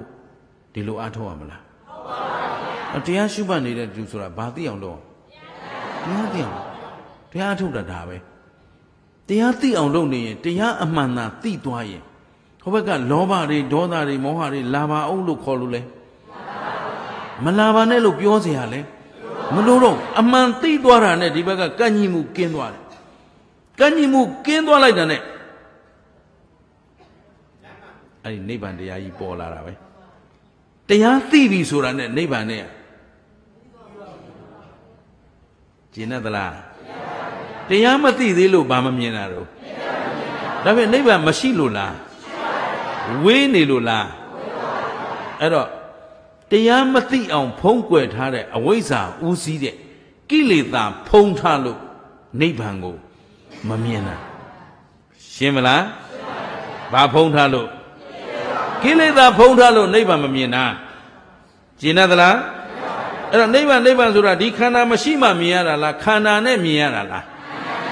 အေးမြတ်စွာဘုရားဗောဓိပင်နဲ့ရွှေပလင်ပေါ်မှာဘုရားဖြစ်တော့ဒုက္ခန္တာကြီးပျောက်သွားသလားခန္ဓာကြီးတခါနဲ့သင်္ကြိုလိုက်ရလားအဲ့တော့ယဟန္တာဖြစ်သွားတဲ့ပုဂ္ဂိုလ်တွေကတော့ခန္ဓာကြီးတခါနဲ့သင်္ကြိုလိုက်ရတာလားဟုတ်ဘူး ဒီခန္ဓာရှိနေရဲ့နဲ့ဘာလို့မြင်ရတာလဲဒါဖြစ်ရင်ခင်ဗျားတို့ဒီခန္ဓာရှိခန္ဓာရှိတဲ့လူချင်းချင်းခန္ဓာရှိနေတဲ့လူတိုင်းကနိဗ္ဗာန်မြင်သလားမမြင်ဘူးကြည့်ကျတို့အဘိဓမ္မာတရားမှာစပြီးစာသင်ရတော့လောကမှာရှိနေတဲ့အရှိတရားဆိုတာစိတ်ရဲ့စေတသိက်ရဲ့ရုပ်ရဲ့နိဗ္ဗာန်အရှိတရားဘယ်နှပါလောကလောကအဘိဓမ္မာတရားနော်ဒီရစသင်ရတာဦးဇင်းတို့နော် အဘိဓမ္မာကျမ်းကြီးစပြီးသင်တော့ဒါကိုအရင်ဆုံးထပြီးဩဝါဒပဲနော်အဘိဓမ္မာတသင်္ဃာကျမ်းကြီးဦးဇင်းတို့စသင်ရတော့တမ္မာသမ္ဗုဒ္ဓမတုလံတတ္တဓမ္မကနုဋ္ဌမအဘိဝါဒိတဝါပါတိတံအဘိဓမ္မတသင်္ဃဟံဆိုပြီးတော့ဒါတတောက်တောက်တောက်တောက်တောက်နဲ့ရွတ်ပြီးတော့လာလိုက်ရင်ရုပ်ရယ်စိတ်ရယ်စေတသိက်ရယ်ရုပ်ရယ်နိဗ္ဗာန်ရယ်လောကအရှိတရားဘယ်နှပါစုခုခမရတို့ခန္ဓာကိုယ်မှာစိတ်လည်းမရှိဘူးလား စေတသိက်ဆိုတဲ့စိတ်ကိုပံ့ပိုးတဲ့နော်ဝေဒနာတင်ညာသင်္ခါရတွေရောမရှိဘူးလားရှိတယ်နောက်ရုပ်ဒီဘက်ကခုခမရတို့ငုတ်တုတ်ရှိနေတဲ့ရုပ်တရားရောမရှိဘူးလားရှိတယ်ဒါအရှိတရားသူနဲ့အတူတူဘာမှရှိနေတော့နိဗ္ဗာန်မှာရှိနေတယ်ရှင်းသလားအခုခင်ဗျားတို့စိတ်စိတ်သက်ရုပ်တော့မြင်ပြီးတော့နိဗ္ဗာန်ကိုမမြင်သေးတာသည်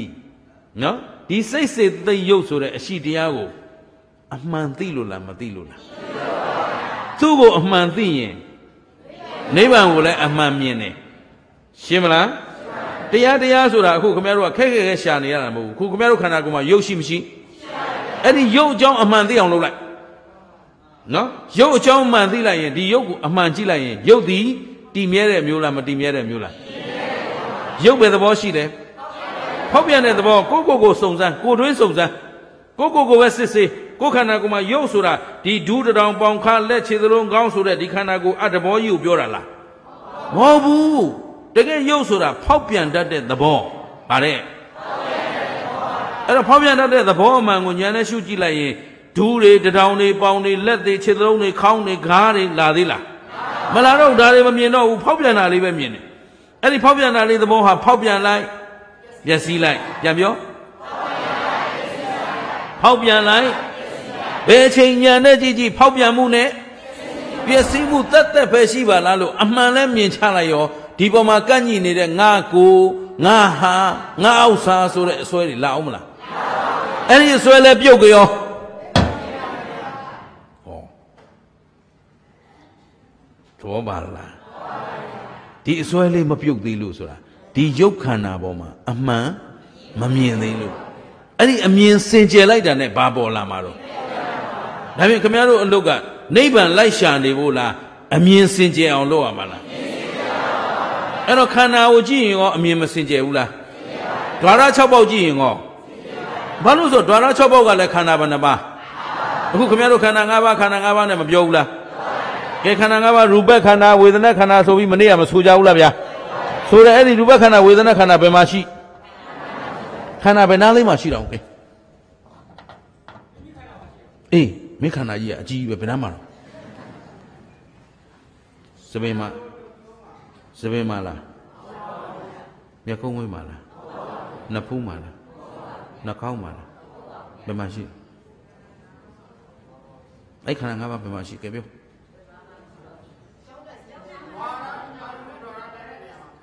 အဲဟုတ်ပြီဒကာကြီးရေနော်ဖြေတတ်လာပြီနော်ဆင်ကျင်မဲ့ကြည့် မျက်စိနဲ့အစင်းနဲ့တိုက်ပါစိတ်ပေါ်မြင်စိတ်ပဲမှာပေါ်မျက်စိနဲ့အစင်းနဲ့တိုက်မြင်စိတ်ပေါ်ဘယ်မှာပေါ်လဲမျက်လုံးမှာပေါ်တယ်မှတ်ထားနော်မြင်စိတ်ဟာမျက်စိမှာပဲပေါ်လို့ရတယ်တခြားနေရာမှာပေါ်လို့မရဘူးဒါကြောင့်ဒွါရဘယ်နှပေါက်6ပေါက်အာယုံဘယ်နှပါအဲ့ဒီ6ပါးနဲ့အာယုံ6ပါးဒွါရ6ပေါက်တိုင်ရင်စိတ်6စိတ်မြင်စိတ်ကြားစိတ်နား မပြောဘူးလားသူ့နေရာနဲ့သူပြောရတာမြင်စိတ်ဆိုတာမျက်စိမှာပဲပေါ်တယ်တခြားနေရာမှာပေါ်လို့ကြားစိတ်ဆိုတာကောင်းပြီမျက်လုံးမှာမြင်တဲ့စိတ်ကလေးမြင်တတ်တဲ့သဘောလေးရဲ့မြင်စရာအဆင်းလေးရဲ့တိုက်လိုက်တော့ဗာစိတ်ပေါ်မြင်စိတ်ကလေးဟောဒီမျက်စိဆိုတဲ့မြင်တတ်တဲ့အကြည်ဓာတ်ကလေးမှာပေါ်တယ်ဟုတ်ပြီနော်အဲ့ဒီပေါ်သွားတဲ့မြင်တဲ့သဘောလေးဟာ အကောင်ထဲရှိလားရှိပါဘူးအဲ့ဒီမြင်တယ်လို့သာပြောလိုက်တာအကောင်ထဲဆိုစရာမရှိဘူးအဲ့ဒီမြင်တာလေးဟာမြင်စိတ်လို့ပြောလိုက်ပေမဲ့ခန္ဓာဖွဲ့ရင်ခန္ဓာ၅ပါးဒီအစုပုံကြီးကိုခေါ်တာမဟုတ်ဘူးမြင်မှုသဘောလေးပေါ်နေတဲ့အချိန်မြင်ခန္ဓာကြားရင်ကဲလက်ခုပ်ပြန်တီးကြအောင်လို့နော် ကြားလားကြားတာဘယ်ကကြားအဲ့ဒီကြားတဲ့အချိန်မှာကြားခန္ဓာ၅ပါးဟုတ်ပြီနော်ဘယ်နာမှာပေါ်လဲဆိုတော့ကြားတတ်တဲ့အကြည်ဓာတ်ကလေးမှာဘယ်မှာဘယ်မှာအဲ့ဒီကြားတတ်တဲ့နားအကြည်ဓာတ်ကလေးဆိုတော့ဒီကနောက်ကနားစီကလေးအဲ့ဒီအကြည်ဓာတ်ကလေးနားအကြည်ဓာတ်ကလေးနဲ့အတန်ဆိုတာကဒီဆောင်းပေါက်ကနေထွက်လာတဲ့အတန်ကြီးကလှိုင်း vibrate ခုဒီမှာဆောင်းပေါက်ဆိုတာကတန်လိုက်ကိုရင်နဲ့နော်အချက်ကြီးကိုစက်ကူချက်ကြီးကိုလှုပ်အောင်လှုပ်လိုက်တာအဲ့ဒါအတန်ထွက်သွားတာအဲ့ဒီထွက်သွားတဲ့အတန်ကလေလိုင်းတွေကရိုက်ရိုက်အစင်းစင်းရိုက်ပြီးတော့နားစီကိုလာထိကတ်တယ်အဲ့ဒါကြောင့်မို့အတန်ကလည်းရုပ်တရားနားစီကလည်းရုပ်တရားအဲ့ဒီရုပ်နှစ်ခုတိုက်လိုက်တော့မှစိတ်ကလေးပေါ်လာတယ်ဘာစိတ်လဲကြားစိတ်အဲ့ဒီကြားစိတ်ကြားယုံကြားနာကြားနေတာကယုံသိနေတာကနာ ရုပ်တရားနဲ့ခန္ဓာဘယ်နှပါးဘယ်မှာပေါ်လိုက်တာနားမှာအဲ့ဒီခန္ဓာ၅ပါးအကောင့်ထဲရှိလားအဲ့ဒါခမရတို့ခန္ဓာပဲကျုပ်တို့ခန္ဓာပဲရှင်းသလားခမရတို့ကျုပ်တို့ကဒီခန္ဓာကိုယ်ကြီးကိုတရားထိုင်နေတော့မလို့ဒူးကြီးနာနေတာငါပေါင်ကြီးနာနေတာငါခါးကြီးနာနေတာငါဆိုတော့ဒီခန္ဓာကိုယ်ကြီးရဲ့ဒူးတောင်ပေါင်ခါခြေသလုံးကောင်းနဲ့ ရွာလေပြီးတော့ပေါင်နာတယ်ဒူးနာတယ်ခါနာတယ်ထိုင်ရတာကြာလိုက်တာပြင်လို့မရဘူးလားပြောင်းလို့မရဘူးလားနဲ့ဒါနဲ့ရွာလေနေတော့ခန္ဓာဘာမှမသိဘူးခန္ဓာဆိုတာအဲ့ဒီမြင်လိုက်တာလေးလဲခန္ဓာ၅ပါးကြားလိုက်တာလေးလဲဟောမြင်ခန္ဓာကမျက်စိမှာပေါ်ပြီးတော့မျက်စိမှာပဲပြက်သွားတယ်နေရာရွှေ့လို့တကယ်တော့ဒီနာမွေဒီနာသေးတာအဲ့တော့ခန္ဓာ၅ပါးဆိုတာခမရတို့ကဟိုမွေးကလေးကရင်အခုချိန်ရှိလာတာတပည့်တော်ဒီခန္ဓာကြီးပုတ်ပုတ်ပြနေ ဒီခန္ဓာကြီးမဟုတ်ဘူးတကယ်ရှိတာခန္ဓာသဘောလေးကဖြစ်ပြီးတာနဲ့ဖြစ်ပြီးတာနဲ့ပြက်သွားတော့ဒီဟာလေးကိုငါလို့ဖန်ကင်စရာမရှိဘူးငါဥစ္စာလို့ပြောစရာရောဒါဖြင့်ဖြစ်ပေါ်နေသမျှတရားတိုင်းဟာဖြစ်ပြီးတာနဲ့ပြည့်နေတာအဲ့ဒါငါလို့ဆိုစရာလဲဆိုဖို့အချိန်ကောရလားအဲ့ဒါယောက်ျားလို့ဆွဆွဲလို့ရောမိန်းမလို့ဆွဆွဲလို့ရောကြားခန္ဓာသဘောလေးဖြစ်ပြီးတော့ပြက်သွားတာ အဲ့ဒါကအမြင်စင်ကြယ်ရင်ခင်ဗျားတို့ဒီမှာငါကိုငါဟာငါဥစ္စာဆိုစရာယောက်ျားမိန်းမပြောစရာမရှိတော့ဘူးဆိုဒီခန္ဓာကိုယ်ပေါ်မှာတက်ညိစရာကန့်ညိစရာရောရှိလားဘာလို့ဆိုသူ့ကိုတောင်းတဖို့အချိန်ရောရလားကြောင်းကြဖို့အချိန်ရောရလားသူ့ကိုတောင်းတစရာလည်းမရှိဘူးကြောင်းကြစရာလည်းမရှိဘူးလို့ဖြတ်ခနဲ့သာခင်ဗျားတို့မြင်လိုက်ရင်တောင်းတခြင်းကြောင်းကြခြင်းကင်းတာနဲ့ အဲဒါတော့အထက်ထပ်ပြောနေမှမမှတ်မိလဲကြုံမတတ်နိုင်ဘူးသဘောပါလားအဲ့ဒီတောင်းတခြင်းကြောက်ကြခြင်းဒီခန္ဓာကြီးကိုဒီအထည်ကြီးကိုငါဟာကြီးမှတ်နေသေးသေးခင်ဗျားတို့အဲ့ဒီတောင်းတမှုကြောက်ကြမှုကကွယ်ထားတဲ့အတွက်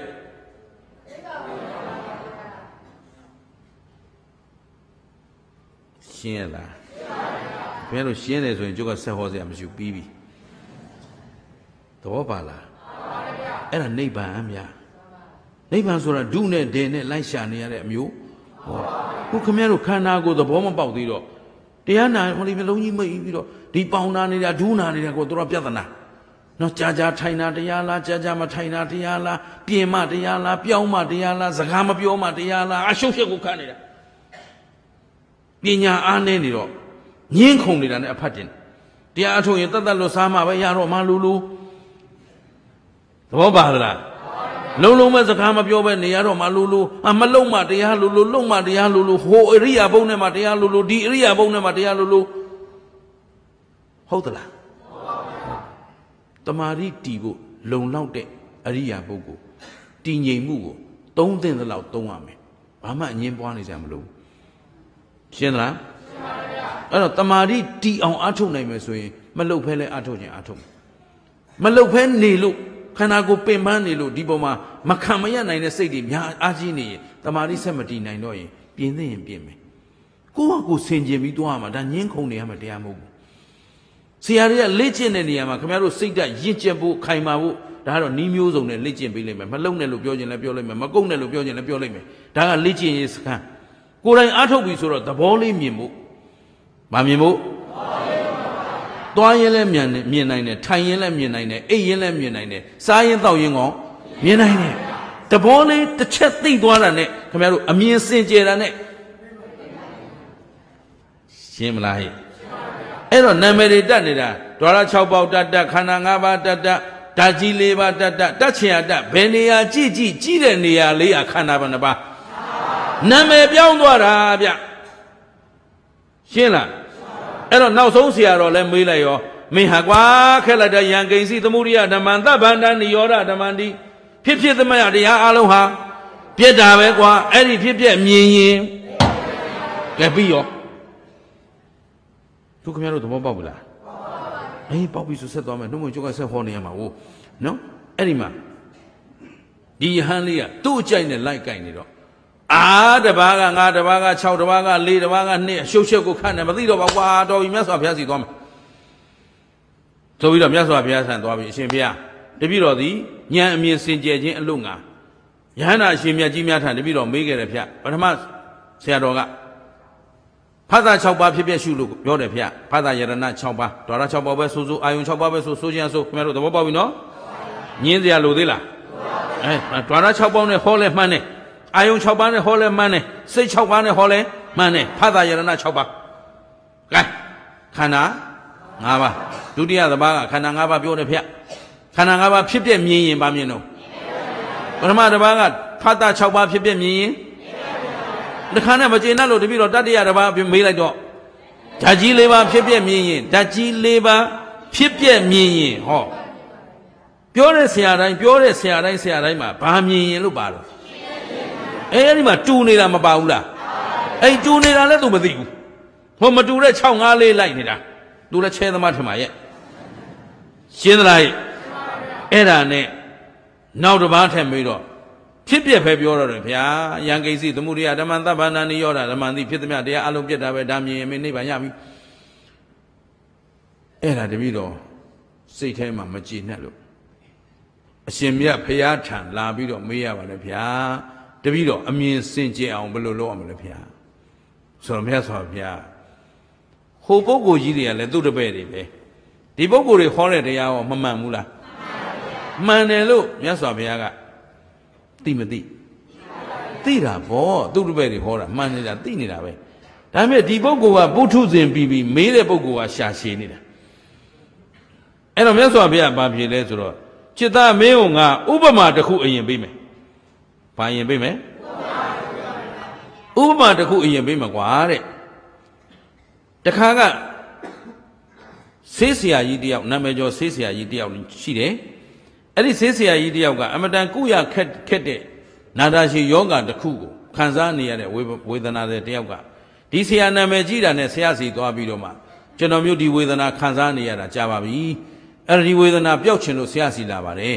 ဆိုတော့ဟောကကျွမ်းကျင်တဲ့ဆေးဆရာသမားတော်ကြီးဆိုတော့ အာဒါမြတ်မင်းမခက်ပါဘူးကွာရပါတယ်လားငါစီမှာရှိတဲ့တယောက်ဒီဆေးလေးယူသွားဒါပေမဲ့ဒီဆေးကိုဒီတိုင်းတော့မင်းယောဂတောက်လို့မရဘူးပေါက်ပင်ရှာဘာရှာပေါက်ပင်ရှာပြီးတော့ပေါက်သားကိုပြာချပျောက်သားကိုမီးရှို့ပြာချပြီးတော့အဲ့ဒီပေါက်သားပြာနဲ့ဒီဆေးနဲ့သာရောတောက်မင်းပြောက်ရှင်းသလားအဲ့တော့ပေါက်ပင်ပြာချပြီးတော့ဒီဆေးနဲ့ရောတောက်ရင်ဘာဖြစ်ပြီလို့ယောဂပျောက်ပြီလို့ပြောလိုက်တော့အဲ့ဒီ ဝေဒနာတွေကလည်းတခါတည်းပေါက်ပင်ရှားတယ်ပြီးတော့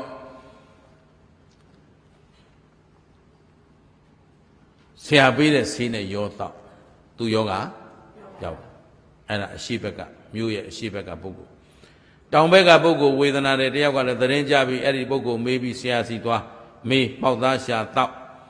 မြောက်ဘက်ကတယောက်ကလည်းအဲ့ဒီလိုပဲအဲ့ဒီယောဂတွေ့တော့ဒီလိုပြောက်တဲ့လို့သတင်းကြတော့အဲ့ဆရာစီသွား ဆေးသွားယူပေါက်သားရှာမီးချိုးပြာချတောက်ရောတောက်ပျောက်ဩအနောက်ဘက်ကပုဂ္ဂိုလ်ကလည်းဒီတိုင်းပဲဆိုတော့အရှင်းနောက်တောင်မြောက်အရာလေးမျက်နှာပုဂ္ဂိုလ်တွေမပြောက်ဘူးလားအဲအဲ့ဒီလိုပျောက်နေတဲ့သတင်းကိုကဲခုလိုပဲဝေဒနာတဲ့တယောက်ကကြားသွားပြီးတော့ဒီဆရာကြီးဆေးနဲ့အစဉ်ပြေတဲ့ဟေးငါတို့မင်းတို့ယောဂါတွေကဒီဆရာကြီးစီသွားကြဆိုတော့ဆရာကြီးစီသွားပြီးဆေးသွားတောင်းတော့ဒီဆရာကြီးကထုံးစံအတိုင်းပဲသူ့ဆေးကိုဘာနဲ့ရောတော့ ပေါက်သားပြာချနော်ပေါက်သားပြာချပြီးတော့ဒီပြာနဲ့ဖြော်ပြီးတော့တောက်ရင်ဒီယောဂပြောက်မယ်ဆိုပေးလိုက်တော့ဆရာကြီးပေါက်သားကဘယ်မှာရှားမလဲဗျာဩမင်းနဲ့ကွာအဲဒီမှာပေါက်ပင်မြင်မှုတဲ့လူသွားမေးမင်းပြောရလဲခဲ့တာငါအဲ့လောက်ချိန်မရဘူးအဲ့အရှိရက်ကဘသူကလည်းအဲ့မှာပေါက်ပင်မြင်မှုသားပြောငါပေးလိုက်တာသူဒီစိတ်နဲ့ပျောက်သွားပြီးပြီဆိုတော့ဒီလူကပေါက်ပင်မမြင်ဘူးတာနဲ့အရှိရက်ကလူသွားပြီးတော့မေးတယ် အကိုကြီးဟေးပြောမင်းဒီသမားတော်ကြီးစီရောက်ဘူးလေဆိုဟုတ်ပါတယ်အဲ့သမားတော်ကြီးကမင်းဆေးပေးလိုက်တယ်ဟုတ်တယ်ကွာအကိုကြီးကပေါက်သားနဲ့ဟုတ်တယ်ပေါက်သားကိုပြချပြီးတော့မင်းတော်တော်ကောင်းတာမင်းဒီယောဂဖြစ်နေတာဟုတ်တယ်အဲ့ဒါဆိုမင်းသောက်တာတော့အမဟုတ်ဘူးကျွန်တော်ကခက်နေတာပေါက်ပင်မမြင်ဘူးဘာမမြင်ဘူးတော့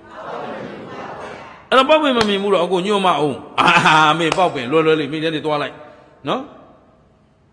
ရွာတောင်ဘက်ရောက်တော့ထွက်တော့လမ်းလေးတွေ့လိမ့်မယ်အဲ့လမ်းတစ်ခွဘယ်ဘက်ကနေသွား နော်သွားပြီးဟိုရေကိုင်းတကန်တွေ့မယ်ရေကိုင်းရဲ့ဟိုဘက်မှာပေါက်ပင်ကြီးกว่าမင်း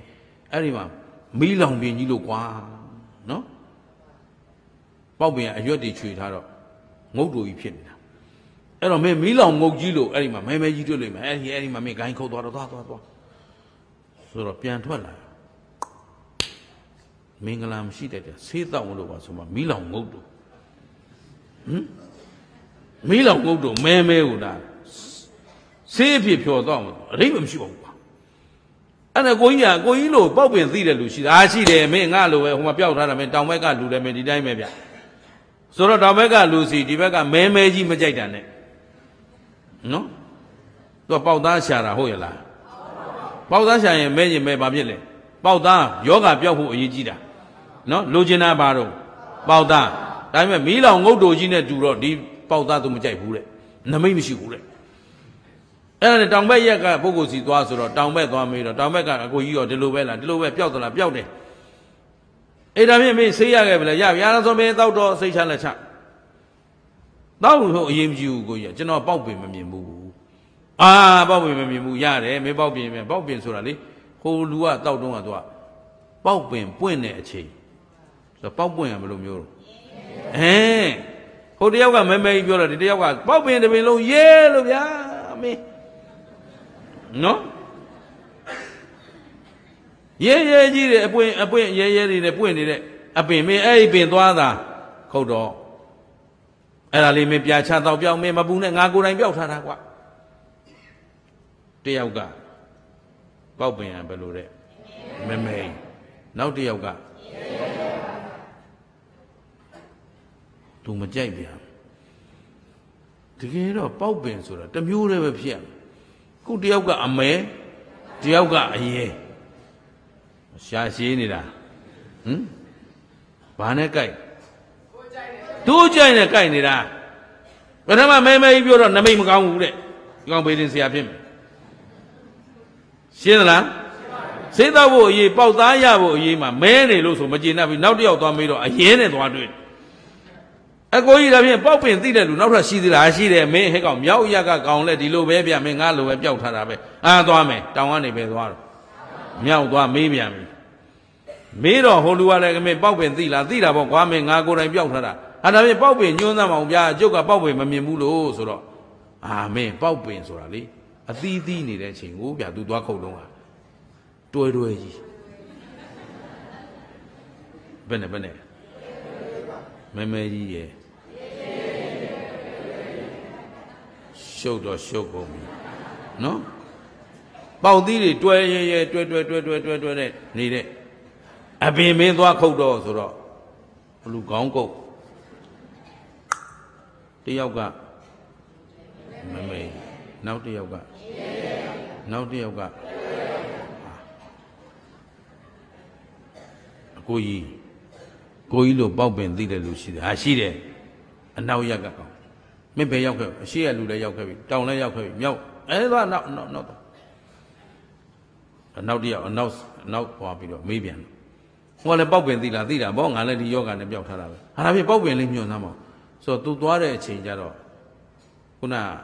အသီးသီးတဲ့အချိန်လည်းမဟုတ်ဘူးအပွင့်ပွင့်တဲ့အချိန်လည်းမဟုတ်ဘူးအရွက်တွေတဖားဖားနဲ့ရက်သူရွက်သစ်ဝေနေတဲ့အချိန်ဟာမင်းဖားပါကြီးဗျာနေပြောက်တော့မဆိုးဘာလဲဘာလဲ အဲ့တယောက်ကမဲမဲကြီးနောက်တယောက်ကနောက်တယောက်ကနောက်တယောက်ကကဲပြီးတော့ကဲခင်ရတော့မဲမဲကြီးကြိုက်လားရဲရဲကြီးကြိုက်လားဘာကြိုက်လဲဘာရှာမှာပေါက်သားရှာမှာဟုတ်ကလားပေါက်ပင်ဘယ်လိုဖြစ်နေတယ်ဆိုတာအဓိကလားကျင်납သလားပေါက်ပင်ကသူ့ရသည်လိုက်သူမပြောင်းဘူးလား ပြောင်းတာပေါ့အရွက်တွေချပြီးတော့နော်အရွက်အကုန်ပင်ကခြွေထားတဲ့အချိန်ကျတော့ဘယ်လိုဖြစ်လဲမဲမဲကြီးမိလောင်ငုတ်တူကြီးလို့နော်ပွင့်နေတဲ့အချိန်ကျတော့ဟုတ်ပြီပေါက်ပင်ပြောင်းသွားတာလားအခြေအနေပြောင်းနေတာလားတို့လိုချင်တာကအဲ့ဒီအခြေအနေလားပေါက်ပင်ပေါက်သားလိုချင်တာပေါက်သားချပြချတော့ရင် ပြောင်းမှန်မှန်သိရတဲ့နဲ့ပေါက်သားမရှာပဲနဲ့ तू ကပုံသဏ္ဍာန်ကြည့်ပြီးမဲလို့မကြိုက်ဘူးရဲလို့မကြိုက်ဘူးတွဲလို့မကြိုက်ဘူးဖြစ်နေရှင်းသလားခုလည်းခင်ဗျားတို့တန်တရားရှိလာတာအဲ့ဒီအမဲအရင်အတွဲနောက်လိုက်နေလို့ပေါက်သားကိုရှာမတွေ့ဘူးခင်ဗျားတို့သဘောပါလားဒါဘသူပေးတဲ့ဥပမာ မြတ်စွာဘုရားပေးတာမလေသူမင်္ဂလာဟောတာမထင်နဲ့ကျင်ရကလားမင်းဟာကွာတဲ့ယောဂပျောက်ချင်လို့ဆေးသွားတောင်းတာဆေးဆရာကဘာနဲ့ပြာချတော့ပေါက်သားနဲ့ပြာချတော့လို့ပြောလိုက်တာပေါက်ပင်သွားမေးတဲ့လူနဲ့တူးနေပြီတဲ့ဟုတ်ပြီနော်အဲ့တော့ပေါက်ပင်သွားမေးတော့ဟိုတယောက်ကသူသွားခုတ်တဲ့အချိန်တုန်းက အရွက်ချေသွားတဲ့အချိန်မို့လို့မဲမဲကြီးပြောလိုက်နောက်တစ်ယောက်ကအပွင့်ပွင့်တဲ့အချိန်သွားခုသွားချိုးတာဆိုတော့ရဲရဲကြီးပေါ့နောက်တစ်ယောက်ကကြတော့အဲအသီးသီးတဲ့အချိန်ဖြစ်တော့တွဲတွဲကြီးနောက်ဆုံးတစ်ယောက်ကအဲအရွက်လည်းအပွင့်လည်းမရှိအသီးလည်းမရှိအရွက်တေးကြီးဖားဖားဝင်နေတဲ့အချိန်ဆိုတော့ဖားဖားကြီးအဲ့တော့မင်းကမဲမဲကြီးရဲရဲကြီးတွဲတွဲကြီးနဲ့ဖားဖားကြီးနောက်လိုက်နေတော့ပေါက်သားမရရှင်းသလား ဒီတော့မြတ်စွာဘုရားပြောတဲ့အဖြေထဲမှာမရှင်းဘူးလားအဲ့တော့ဒီကပေါက်သားနဲ့တူတဲ့ဖြစ်ချင်းတရားနဲ့ပြည့်ချင်းတရားဖြစ်ပြတာရှုရင်ဘယ်ရောက်မှာတော့နိဗ္ဗာန်ရောက်မှာဒွါရ6ပေါက်ရှုလဲဘာမြင်မှာတော့ဖြစ်ပြမြင်မှာဘာမြင်မှာဟုတ်ပြီခန္ဓာ၅ပါးရှုလဲဟုတ်ပြီတန်၄ပါးရှုလဲ အဲ့လိုမှမဟုတ်ပဲဓမ္မနုပဒနာဆိုပေါ်ရာရှုกว่าအခုကျေးဇူးရှင်ဘုဂုဆရာတော်ကြီးပြောတယ်ဝိပဿနာရှုတယ်ဆိုတာပေါ်ရာရှုနော်ဘယ်စိတ်ပေါ်မယ်လို့ဘယ်စိတ်ပေါ်မှရှုမယ်လို့စောင့်နေလို့ရပါလားပေါ်တဲ့စိတ်ရှုဘယ်ဝေဒနာလာမှရှုမယ်လို့ရစောင့်နေလို့ပေါ်တဲ့ဝေဒနာရှင်းသလားအဲ့တော့ခုခင်ဗျားတို့ခန္ဓာကိုယ်မှာဒုက္ခဒုက္ခဥပိ္ပခာအောင်မရှိဘူးလားဝေဒနာဖြစ်ပြရှုရင်လည်းဖြစ်ပြမြင်ရင်ပဲရောက်မှာလား စိတ်ဓာနုပဒနာရှုလို့စိတ်ဖြစ်ပြမြင်ရင်လဲကာယ ानु ပဒနာရှုလို့ရုပ်ဖြစ်ပြမြင်ရင်လဲကျင်납သလားအရေးကြီးတာဘာမြင်မှုကျင်납သလားဖြစ်ပြသမျှ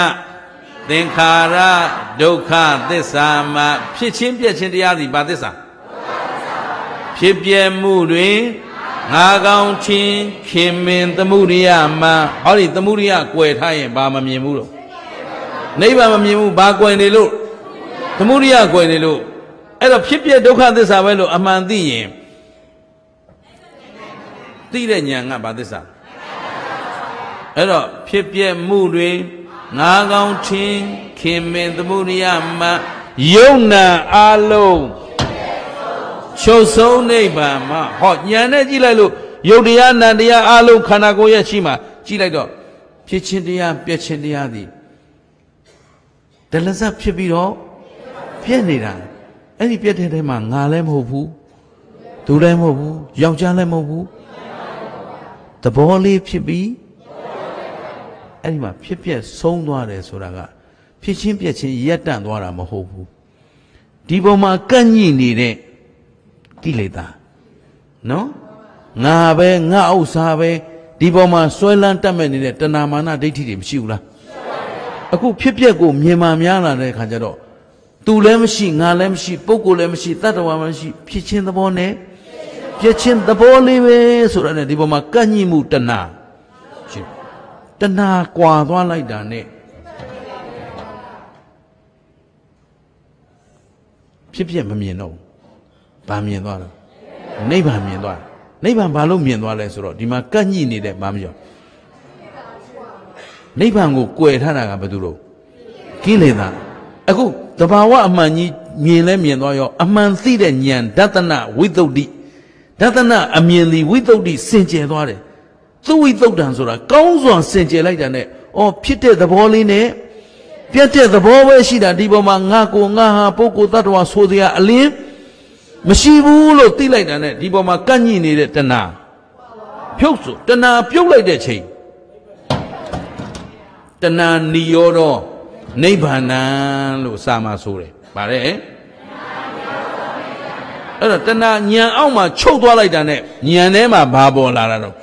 နိဗ္ဗာန်ပေါ်လာတာဒါပဲယုံနာအလုံးဖြစ်ပြက်သုံးချုပ်ဆုံးနိဗ္ဗာန်မှာချုပ်ဆုံးမှုတွင်ဉာဏ်သက်ဝင် သိမြင်မဲ့ဟုမှာအဲ့ဒီယုံနာချုပ်သွားတဲ့နေရာလေးမှာဉာဏ်ပေါ်လာလေးကိုနောက်ကနေမဲ့ဉာဏ်နဲ့ကြည့်လိုက်တော့မဲ့ဉာဏ်ရဲ့ကိစ္စသည်ဖြစ်ပြက်ချုပ်သွားတာကိုလည်းမြင်တယ်ကိလေသာကွာသွားတယ်ကိလေသာတတ်ပလိုက်တယ်ကိလေသာကိုဖယ်ပလိုက်တယ်ဘာပေါ်လာတော့သုံးခုသူကဖြစ်ဖြစ်ဆုံးတာလည်းမြင်တယ်နော်တဏှာချုပ်တာလည်းသိတယ်နောက်နိရောဓနော်နိဗ္ဗာန်မျက်မှောက်လည်း ပြုတ်လိုက်တယ်တဏှာချုပ်လိုက်တော့တဏှာကအပူရောက်ရက်ခတ်နေတာတဏှာလည်းချုပ်လိုက်ရောအဲ့ဒီချုပ်တဲ့နေရာဘာပေါ်လာတာတော့နိဗ္ဗာန်တဏှာချုပ်သွားတာဘာခေါ်တော့နိဗ္ဗာန်နိဗ္ဗာန်ဆိုတာသီးသန့်လာရတာလားတဏှာချုပ်သွားတာလားကျင်သလားအဲ့တော့သုံးချက်လို့ပြောလိုက်ပြီမဲ့ तू ကတစ်ချက်သေးပဲတဏှာချုပ်လိုက်တာဘာပေါ်လာတာတော့အဲ့ဒီတဏှာချုပ်လိုက်တဲ့အချိန်ဖြစ်ပြက်လဲချုပ်သွားပြီယုံနာအလုံးဖြစ်ပြက်သုံး ဆိုတော့ဖြစ်ပြက်ချုပ်သွားတယ်ချုပ်သွားတယ်လို့ဆိုပေမဲ့နော်ဖြစ်ချင်းပြက်ချင်းနေရပ်တန့်သွားတာလားကန့်ညိမှုတဏှာကွာသွားတာလားအဲ့ဒါဘာခေါ်တော့ကျင်တတ်သလားအဲ့ဒါကြောင့်တောင်းတခြင်းကင်းတာတောင်းတခြင်းကင်းတာနိဗ္ဗာန်ကြောင်းကြခြင်းကင်းတာနိဗ္ဗာန်ကဲနာမည်ကြီးကြိုက်တယ်လို့တတ်တော့ရှင်းမလား အဲ့တော့ဖြစ်ပြဆုံးဖြစ်ပြဆုံးလို့ပြောလိုက်ရတာဖြစ်ချင်းပြက်ချင်းတရားတွေရက်တန့်ပျောက်ဆုံးသွားတာမဟုတ်ဘူးအဲ့ဒီဖြစ်ပြပေါ်မှာကန့်ညိနေတဲ့ပါလေကိလေသာကွာသွားတာအဲ့တော့အရင်ကကိလေသာနဲ့ကြည်နေတဲ့ဉာဏ်အခုကိလေသာမပါတဲ့ဉာဏ်ဖြစ်သွားတော့အဲ့ဒါမဲ့ဉာဏ်ဖြစ်သွားတယ်ရှင်းမလားကြည်ရောကြည်နေသလားအဲ့ဒီမှာမြတ်စွာဘုရားရှင်ကိုရောမြတ်ကြီးကပေါက်ပင်မဲတာရဲတာတွဲတာဖားတာအဓိကမဟုတ်ဘူး ဘာရဖို့အဓိကပေါက်သားရဖို့အဓိကခုလည်းခန္ဓာ၅ပါးရှုတာဓာတ်၄ပါးရှုတာငင်းခုန်နေဖို့မဟုတ်ဘူးကဲကာယ ानु ပဒနာဝေဒနာ ानु ပဒနာဓမ္မ ानु ပဒနာစိတ် ानु ပဒနာဆိုပြီးတော့အနုပဒနာတရား၄ပါးမရှိဘူးလားတတိပဋ္ဌာန်တရား၄ပါးနော်ဘယ်တတိပဋ္ဌာန်ရှုရင်နိဗ္ဗာန်ရောက်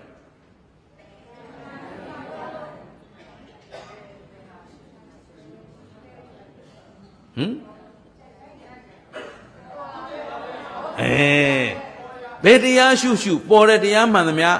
ပြည့်တယ်ပေါ်တဲ့တရားတမှန်သမျှပြည့်တာပဲလို့မြင်ရမယ်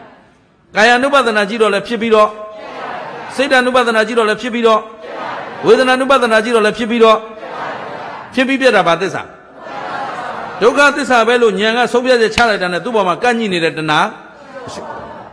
ရှင်းသလားသဗ္ဗေသင်္ခါရအနိစ္စသင်္ခါရတရားအလုံးဟာဖြစ်ပြီးရင် ဖြစ်ပြီးပြတာကိုယရာပညာယပတ္တိယရာအဲ့ဒီဖြစ်ပြီးပြက်နေတဲ့အခါမှာပညာနဲ့မြင်အောင်ကြည့်ရမယ်။ဘာနဲ့မြင်အောင်ကြည့်ရမလဲ။ပညာနဲ့မြင်အောင်ကြည့်လိုက်တော့မှအထနိဗ္ဗိန္ဒတိဒုက္ခေဖြစ်ပြီးပြည့်နေတာဒုက္ခသစ္စာပဲလို့အချိန်ချင်းပညာကမြင်လာတော့ဒီဒုက္ခပေါ်မှာညီးငွေခြင်းမဖြစ်ဘူးလားညီးငွေခြင်းမုံတီးခြင်းတွေဖြစ်လာပြီဖြစ်လာတော့အထနိဗ္ဗိန္ဒတိဒုက္ခေနောက်က ဧသာမဂောဝိတုဒ္ဓိယဟောနောက်ကနေဉာဏ်အမြင်ကလေးကအော်ဖြစ်ချင်းပြက်ချင်းဒုက္ခသစ္စာတက်တက်ဖဲလို့ဆုံးဖြတ်ချက်ကလေးချလိုက်ရောဒီပေါ်မှာကန့်ညိနေတဲ့ဘာကွာသွားလဲကိလေသာတဏှာကွာသွားတယ်အဲ့ကွာသွားလိုက်တဲ့ဟာဒီမှာအဲမက်ဝင်လာလိမ့်မယ်အဲ့ဒီမက်ဒီနိဗ္ဗာန်ကိုမြင်တာပဲအဲ့တော့ကိလေသာငြိမ့်တာဘာခေါ်တော့နိဗ္ဗာန်ပြန်ပြော အဲ့နိဗ္ဗာန်ဆိုတာတတိတတန့်ပေါ်လာမလားကိလေသာချုပ်သွားတာနိဗ္ဗာန်လားခြေနှက်ကလားအဲ့တော့မှမြတ်စွာဘုရားကจิตသာတဲ့ငါတပည့်တွေပြောလိုက်တဲ့တရားလမ်းစဉ်အားလုံးကအပန်ကြီးပဲဒွါရ6ပေါက်ဖြစ်ပြက်မြင်ရင်လည်းပဲရောက်မှာတော့ဟုတ်ပြီခန္ဓာ၅ပါးဖြစ်ပြက်မြင်ရင်လည်းဓာတ်၄ပါးဖြစ်ပြက်မြင်ရင်လည်းဟိုဘာကြည့်ကြည့်ဖြစ်ပြက်တာမြင်ရင် ဘာဖြစ်လို့လဲဆိုတော့ဘယ်အရာကြည့်ကြည့်မြဲတဲ့တရားလားမမြဲတဲ့တရားလားအဲ့ဒါကိုမြတ်စွာဘုရားဆက်ပြီးတော့မှဥပမာပေးတယ်အဲ့မှာခိုင်မာတောင့်တင်းတဲ့မြို့ရိုးတကားကြီးရှိတဲ့ပုံကောမှာတကားတိုင်တကားမှာတကား6ပေါက်ရှိတယ်တဲ့အဲ့ဒီတကား6ပေါက်မှာထက်မြက်တဲ့အသိဉာဏ်ရှိတဲ့တကားဆောင်ကိုထားရမယ်။ဘာထားရမလဲ။အသိဉာဏ်ရှိတဲ့တကားတောက်ကိုတကားဆောင်ကိုထားပြီးတော့မှအဲ့ဒီမှာ လျင်မြန်တဲ့တန်တမန်အစုံကလာမေးလိုက်မယ်တဲ့။လာမေးလိုက်မယ်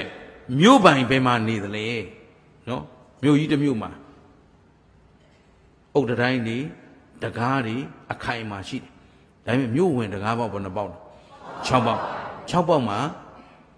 လိမ္မာပန်းနှတ်တဲ့တကားဆောင်ကိုထားမယ်ထားတော့တချမ်းကလာပြီးတော့ဆက်သွယ်တဲ့တန်တမန်တွေဟာဘသူ့ကိုမေးရမှာတကားဆောင်ကိုမေးရ တကားဆောင်ကိုမေးလိုက်တော့မြို့လေကမြို့ပိုင်ရှင်ပဲမှာလဲဆိုတော့ဒီလမ်းအတိုင်းသွားဟောဒီမင်းလမ်းမကြီးတိုင်းလျှောက်သွားအဲ့ဒီလမ်းလေကောင်တဲ့တဲ့ကနော်ဒီတကား6ပေါက်ဆုံရအလဲကောင်မှာပိုင်ရှင်နေတယ်ဟုတ်ကလားဟဲ့အဲ့တော့အရမျက်နာအသီးသီးကလာတဲ့ပုဂ္ဂိုလ်ကဘယ်တကားဆောင်ကိုမေးမေးဒီရွာလဲလမ်းမကြီးတိုင်းသာရှောက်သွားရင်အရှိတကားကလာလဲအဲ့ဒီတကားနဲ့တက်တဲ့တာရှောက်သွားအလဲကောင်ရောက်ရင်ဘယ်သူနဲ့တွေ့မှာတော့မြို့ပိုင်နဲ့တွေ့မယ် အဲ့တော့အနောက်တကားကလာရင်လဲအဲ့ဒီအလဲကောင်တက်တဲ့ရောက်သွားရင်ဘယ်သူနဲ့တွေ့မှာတော့မြို့ပိုင်နဲ့တွေ့မှာပဲဆိုပြီးတော့ဒီတိုင်းသာသွားရင်အလဲလမ်းဆုံးလမ်းစုံမှာရှိတဲ့နော်မြို့ပိုင်နဲ့တွေ့နိုင်မတွေ့နိုင်ဒီတိုင်းပဲတဲ့ချစ်သားမြို့ကြီးဆိုတာခိုင်မာတောင့်တင်းတဲ့မြို့ကြီးဆိုတာမင်းတို့ခန္ဓာကိုယ်ကြီးကိုပြောတာဟုတ်ပြီနော်အခုခင်ဗျားတို့ဓာတ်လေးပါးနဲ့ဖွဲ့စည်းထားတဲ့ခန္ဓာကိုယ်ကြီးမရှိဘူးလားအဲ့ဒီမှာအာယုန်တွေဝင်နိုင်တဲ့အပေါက်ဘယ်နှပေါက်ရှိလဲ 6ပေါက်ဒါကြောင့်မြတ်စွာဘုရားမြို့ဆိုတာတော့အပြင်မှာတဲကိုယ့်အကိုတဲကျတဲ့လောက်တဲနော်တကားပေါက်တွေရှိကျတဲ့လောက်ရှိမှာပေါ့နော်ရာဇဂိုမြို့ဆိုတာတကားအများကြီးရှိတယ်အခုမြန်မာနိုင်ငံမှာတော့အလွယ်ဆုံးပြောရင်နော်မန္တလေးနန်းတွင်းဆိုရင်တကား၄ပေါက်ပကံနန်းတွင်းလမ်းတကား၄ပေါက်အိုးရှမ်းပြည်နယ်ကရှမ်းစော်ဘွားတွေနေတဲ့ကျိုင်းတုံမျိုးကျတော့၁၇ပေါက်ရှိတယ်အဲ့တော့အပေါက်ကျိုက်တယ်လို့ပေါက်လို့ဖောက်လို့ရတာပေါ့အဲ့ဒါဖခင်ကဘယ်နှပေါက်ဖန်ညွန်းတော့6ပေါက်ညွန်းတာဘယ်ကိုပြခြင်းလို့ ခန္ဓာကိုပြခြင်းလို့မင်းတို့ခန္ဓာမှာတကားဘယ်နှပေါက်ရှိတယ်6ပေါက်ဆိုတော့အသိဉာဏ်ရှိတဲ့တကားဆောင်ဆိုတာတတိနဲ့ပညာဗါတဲ့စောစောကဦးသိမပြောခဲ့ဘူးလားဉာဏ်ရှိတဲ့လူဖြစ်ချင်ရင်သတိထားဝရိယစိုက်ပညာနဲ့ကြည့်သတိပညာလားရှင်သွဲပြီးတော့ဝရိယစိုက်ထားရင်တော်တော်ကောင်းလို့ဉာဏ်ပညာရှိမရှိဉာဏ်ရှိတဲ့လူတကားဆောင်ထားမှဒီလူကမိတ်ဆွေလားဒီလူကယံသူလားသိမှာပေါ့ဗျရှင်းရလား ခုကခင်ဗျားတို့ကအဲ့ဒီတကားမှာအဆောက်မထားပဲထားရင်မျက်လုံးပေါက်ကလည်းဝิญญาဝင်တော့လောဘမဖြစ်ဘူးလားဒေါသရောမဖြစ်ဘူးလားအဲ့တော့ဝิญญาဝင်သွားပြီဆိုတော့လောဘဒေါသမောဟတွေဖြစ်ပြီဆိုရင်ဆင်းရဲကြောင်းလားချမ်းသာကြောင်းလားဒုက္ခမရောက်ဘူးလားအဲ့တော့ခုခင်ဗျားတို့ဒုက္ခကြိုက်သလားဒုက္ခငြိမ်းတာကြိုက်သလားဒုက္ခငြိမ်းတာကြိုက်ရင်ဒီအပေါက်6ပေါက်ကိုသတိပညာနဲ့စောင့်အောင်ဘာနဲ့စောင့်အောင်မလဲသတိပညာနဲ့စောင့်ပြီးတော့လျင်မြန်တဲ့တန်တမန်အဆုံးဆိုတာဝိပဿနာဉာဏ်နဲ့ဘာဉာဏ်နဲ့ ဝိပဿနာဉာဏ်စုံစမ်းမယ်မေးမြန်းမယ်မေးမြန်းမယ်ဆိုတာအခုသတိပညာနဲ့ကြည့်တော့မျက်စိနဲ့အစင်းနဲ့တိုင်းဘာစိတ်ပေါ်အဲ့ဒီမြင်စိတ်ကလေးကယောက်ျားမိန်းမပုဂ္ဂိုလ်သတ္တဝါမြင်တာလားမြင်တတ်တဲ့သဘောလေးလားမြင်တတ်တဲ့သဘောလေးကလည်းဖြစ်ပြီးတော့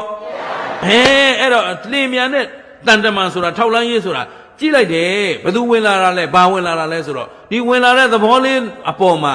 အသေးအချာမစီစစ်ရင်လောဘလည်းဖြစ်မယ်ဒေါသလည်းဖြစ်မယ်မောဟလည်းဖြစ်မယ်ကိလေသာမလာဘူးလား ကိလေသာလာရင်ခင်ဗျားတို့ငြိမ်းချင်းနိဗ္ဗာန်ဆိုတာရနိုင်ပါမလားမရနိုင်တော့လင်းမြန်တဲ့ဉာဏ်ဉာဏ်ပညာနဲ့စုံစမ်းလိုက်တော့မြို့ပိုင်ပဲမှာလဲဆိုမြို့ပိုင်ကပဲမှာတော့မြို့အလဲကောင်းမဆိုတော့ဒွါရကြောက်ပေါက်ဆုံတဲ့နေရာဒီမှာမနှောနော်ဝิญဉ်နော်စိတ်ဝิญဉ်လည်းမရှိဘူးလားမြင်စိတ်ကြားစိတ်နာမ်စိတ်စားစိတ်လို့မပြောဘူးလားအဲ့တော့မြင်တာလဲသိရတာစိတ်ပဲကြားတာလဲသိရတာစိတ်ပဲဆိုတော့ဒီစိတ်ဝิญဉ်ကလေးဟာမြို့ပိုင်ရှင်နဲ့တူတယ်တဲ့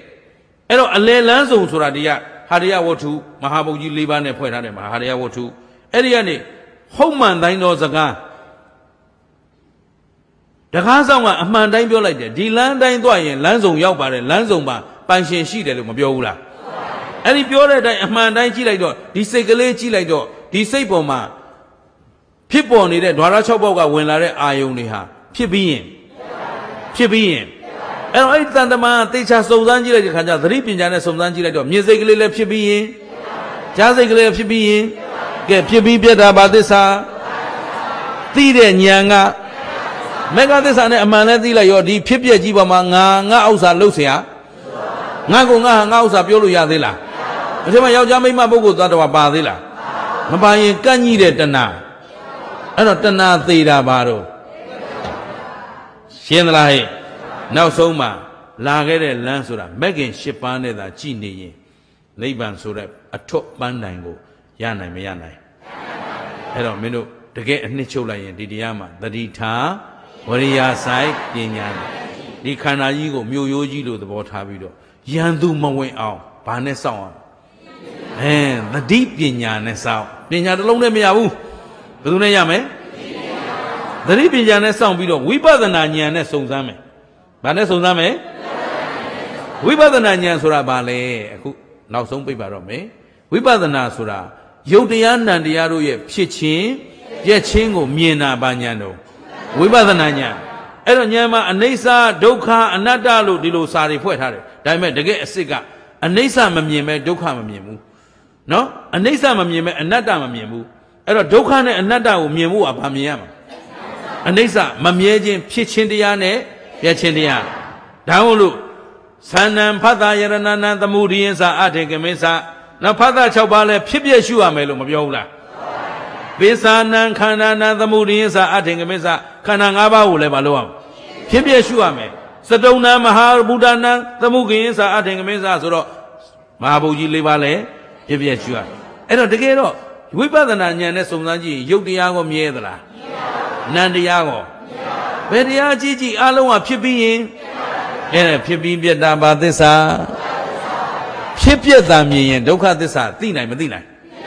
သိပြီဝိပဿနာဉာဏ်နဲ့သိရင်ဒီပေါ်မှာตายရခြင်းတတ်မဲ့ခြင်းခုံမခြင်းရှိအောင်မလားမရှိတော့မှသေတာကသမုဒိယသစ္စာသိရင်ဘာပေါ်လာမှာတော့နိဗ္ဗာန်ပေါ်လာမှာဒီခန္ဓာပြောက်เสียလို့သလားဒီခန္ဓာကြီးချုပ်เสียလို့သလားမလိုဘူးဒီခန္ဓာပေါ်မှာကန့်ညိတဲ့တဏှာချုပ်တာနဲ့ဘာပေါ်မှာတော့ ရှင်းရလားဒါဖြင့်ဒီလမ်းသာလျှောက်ရင်ဒီခရီးပေါက်နိုင်မပေါက်နိုင်จิตသားဒါပဲတဲ့ဒီလမ်းလျှောက်ဖို့မင်းကပေါက်သားတော့ပါဆိုမဲမဲရွယ်ရွယ်တွဲတွဲလိုက်နေတော့ဘယ်လုံးမှလမ်းရောက်เสียအကြောင်းမရှိဘူးกว่าလို့မြတ်စွာဘုရားဟောလိုက်တော့မှဒီယဟန်လေးလည်းတရားနာရင်သောတာပန်ဒီတယ်များစွာသောတတ္တဝါအပေါင်းတို့လည်းလမ်းမှန်ကိုတွေ့သွားကြတယ်ရှင်းမလားအဲ့တော့ဒုဒကာဓမ္မတွေလည်းနိဗ္ဗာန်ဆိုတာ နော်မြို့ကြီးပြကြီးတွေလို့လိုက်ပြီးတော့ကဘာချတောချတောင်ချရှာစရာလို့ပါဘယ်မှာပဲရှိတယ်အဲ့တော့အဲ့ဒီနိဗ္ဗာန်ကိုမမြင်အောင် ဖုံးထားတာကဘယ်သူတော့အဲဝိဇ္ဇာနဲ့တဏကိလေသာကဖုံးထားတယ်ရှင်းတယ်နော်ဒါကိုမြင်ခြင်းရင်ကိုယ်ခန္ဓာကိုယ်ပေါ်မှာခန္ဓာကိုယ်ကြီးကိုမြို့ရိုးလိုသဘောထားပြီးတော့သတိပညာအစောင့်နဲ့ဝိပဿနာဉာဏ်နဲ့သာအမြဲစုံစမ်းနေရင်တနေ့မဟုတ်တနေ့တော့ခမရတို့ဘာနဲ့တွေ့တော့မှာ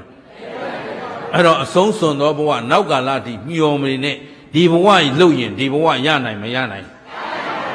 အခုလှုပ်ရင်အေးမြတ်စွာဘုရားရှင်ကိုတော်မြတ်ကြီးကမနဲ့အားထုတ်ရင်ညနေရတယ်ညနေအားထုတ်ရင်မနဲ့ရတယ်အလွန်ဆုံး9ရက်နော်9လ9နှစ်ဒီထက်မပိုပါဘူးကွာလို့ပြောထားရတဲ့ခင်ဗျားတို့က9ရက်လောက်မှစွန့်စွန့်ဆာဆာမလုပ်နိုင်တော့ရပါဦးမလားအဲ့တော့ထိုင်သာဆုတောင်းနေ နော်ဤသို့လူရန်ရသောကုသိုလ်အကျိုးအားကြောင့်နော်လူချမ်းသာနတ်ချမ်းသာအချင်းချင်းခံစား၍အဆုံးစွန်သောဘဝဗါတဲ့နောက်ကာလ၌အဆုံးစွန်တဲ့ဘဝရဲ့ဟိုနောက်ကိုရောက်မှစောင့်ညာအမဲအရဲ့အတွဲနောက်လိုက်နေတာခင်ဗျားတို့ပေါက်သားနဲ့တွေ့မှာမဟုတ်ဘူးရှင်းမလားကြည်ရောကြည်နပ်ပြီလား အဲ့တော့ net ဖြန်ဒီနေ့ရွေးနေရမလားအခုလို့အခုရနိုင်တယ်လားအဲ့တော့ခန္ဓာဘဏ္ဍပါဘယ်ချိန်ကြည့်ကြည့်ဖြစ်ပြီးရင်တကယ်အရှိတရားကဖြစ်ခြင်းတရားနဲ့ဒါမို့နောက်ဆုံးတစ်လုံးကယံကိဉ္စီသမုဒိယဓမ္မံသဗ္ဗန္တနိယောဒဓမ္မံတိဖြစ်ဖြစ်သမျှတရားအလုံးဟာပြက်တာပဲယုတ်ကြည့်လဲယုတ်ကဖြစ်ပြီးတော့နာမ်ကြည့်လဲနာမ်ကဖြစ်ပြီးတော့ကဲဖြစ်ပြီးပြက်တာပါသစ္စာသိတဲ့ဉာဏ်က သေတာကနောက်ခန္ဓာမလာတာကသစ္စာဘယ်နှချက်ကိုက်အေးကဲတော့သစ္စာလေးချက်တစ်ပြိုင်တည်းကိုက်မှသာလျင်တန်တရားဝတ်တွင်းကလွတ်ကင်းမှဖြစ်တဲ့အတွက်မမိတ်မလျော့မပေါ့ဆာသောတတိမလျှော့သောဇွဲလုံးလဝရိယလက်ကင်ထားပြီးတော့ဒီဘဝဒီခန္ဓာမစွန့်ကြခင်ဒီသန္တရာကျွတ်လွတ်ထွက်မြောက်နိုင်ရေးအတွက်မိမိကိုယ်တွင်းကိုတေချာကြနာစုံစမ်းကြပြီးတော့ဉာဏ်မျက်လုံးတတ်နိုင်အောင် ကြိုးစားကြလို့တိုက်တွန်းရင်းနဲ့နားကြစို့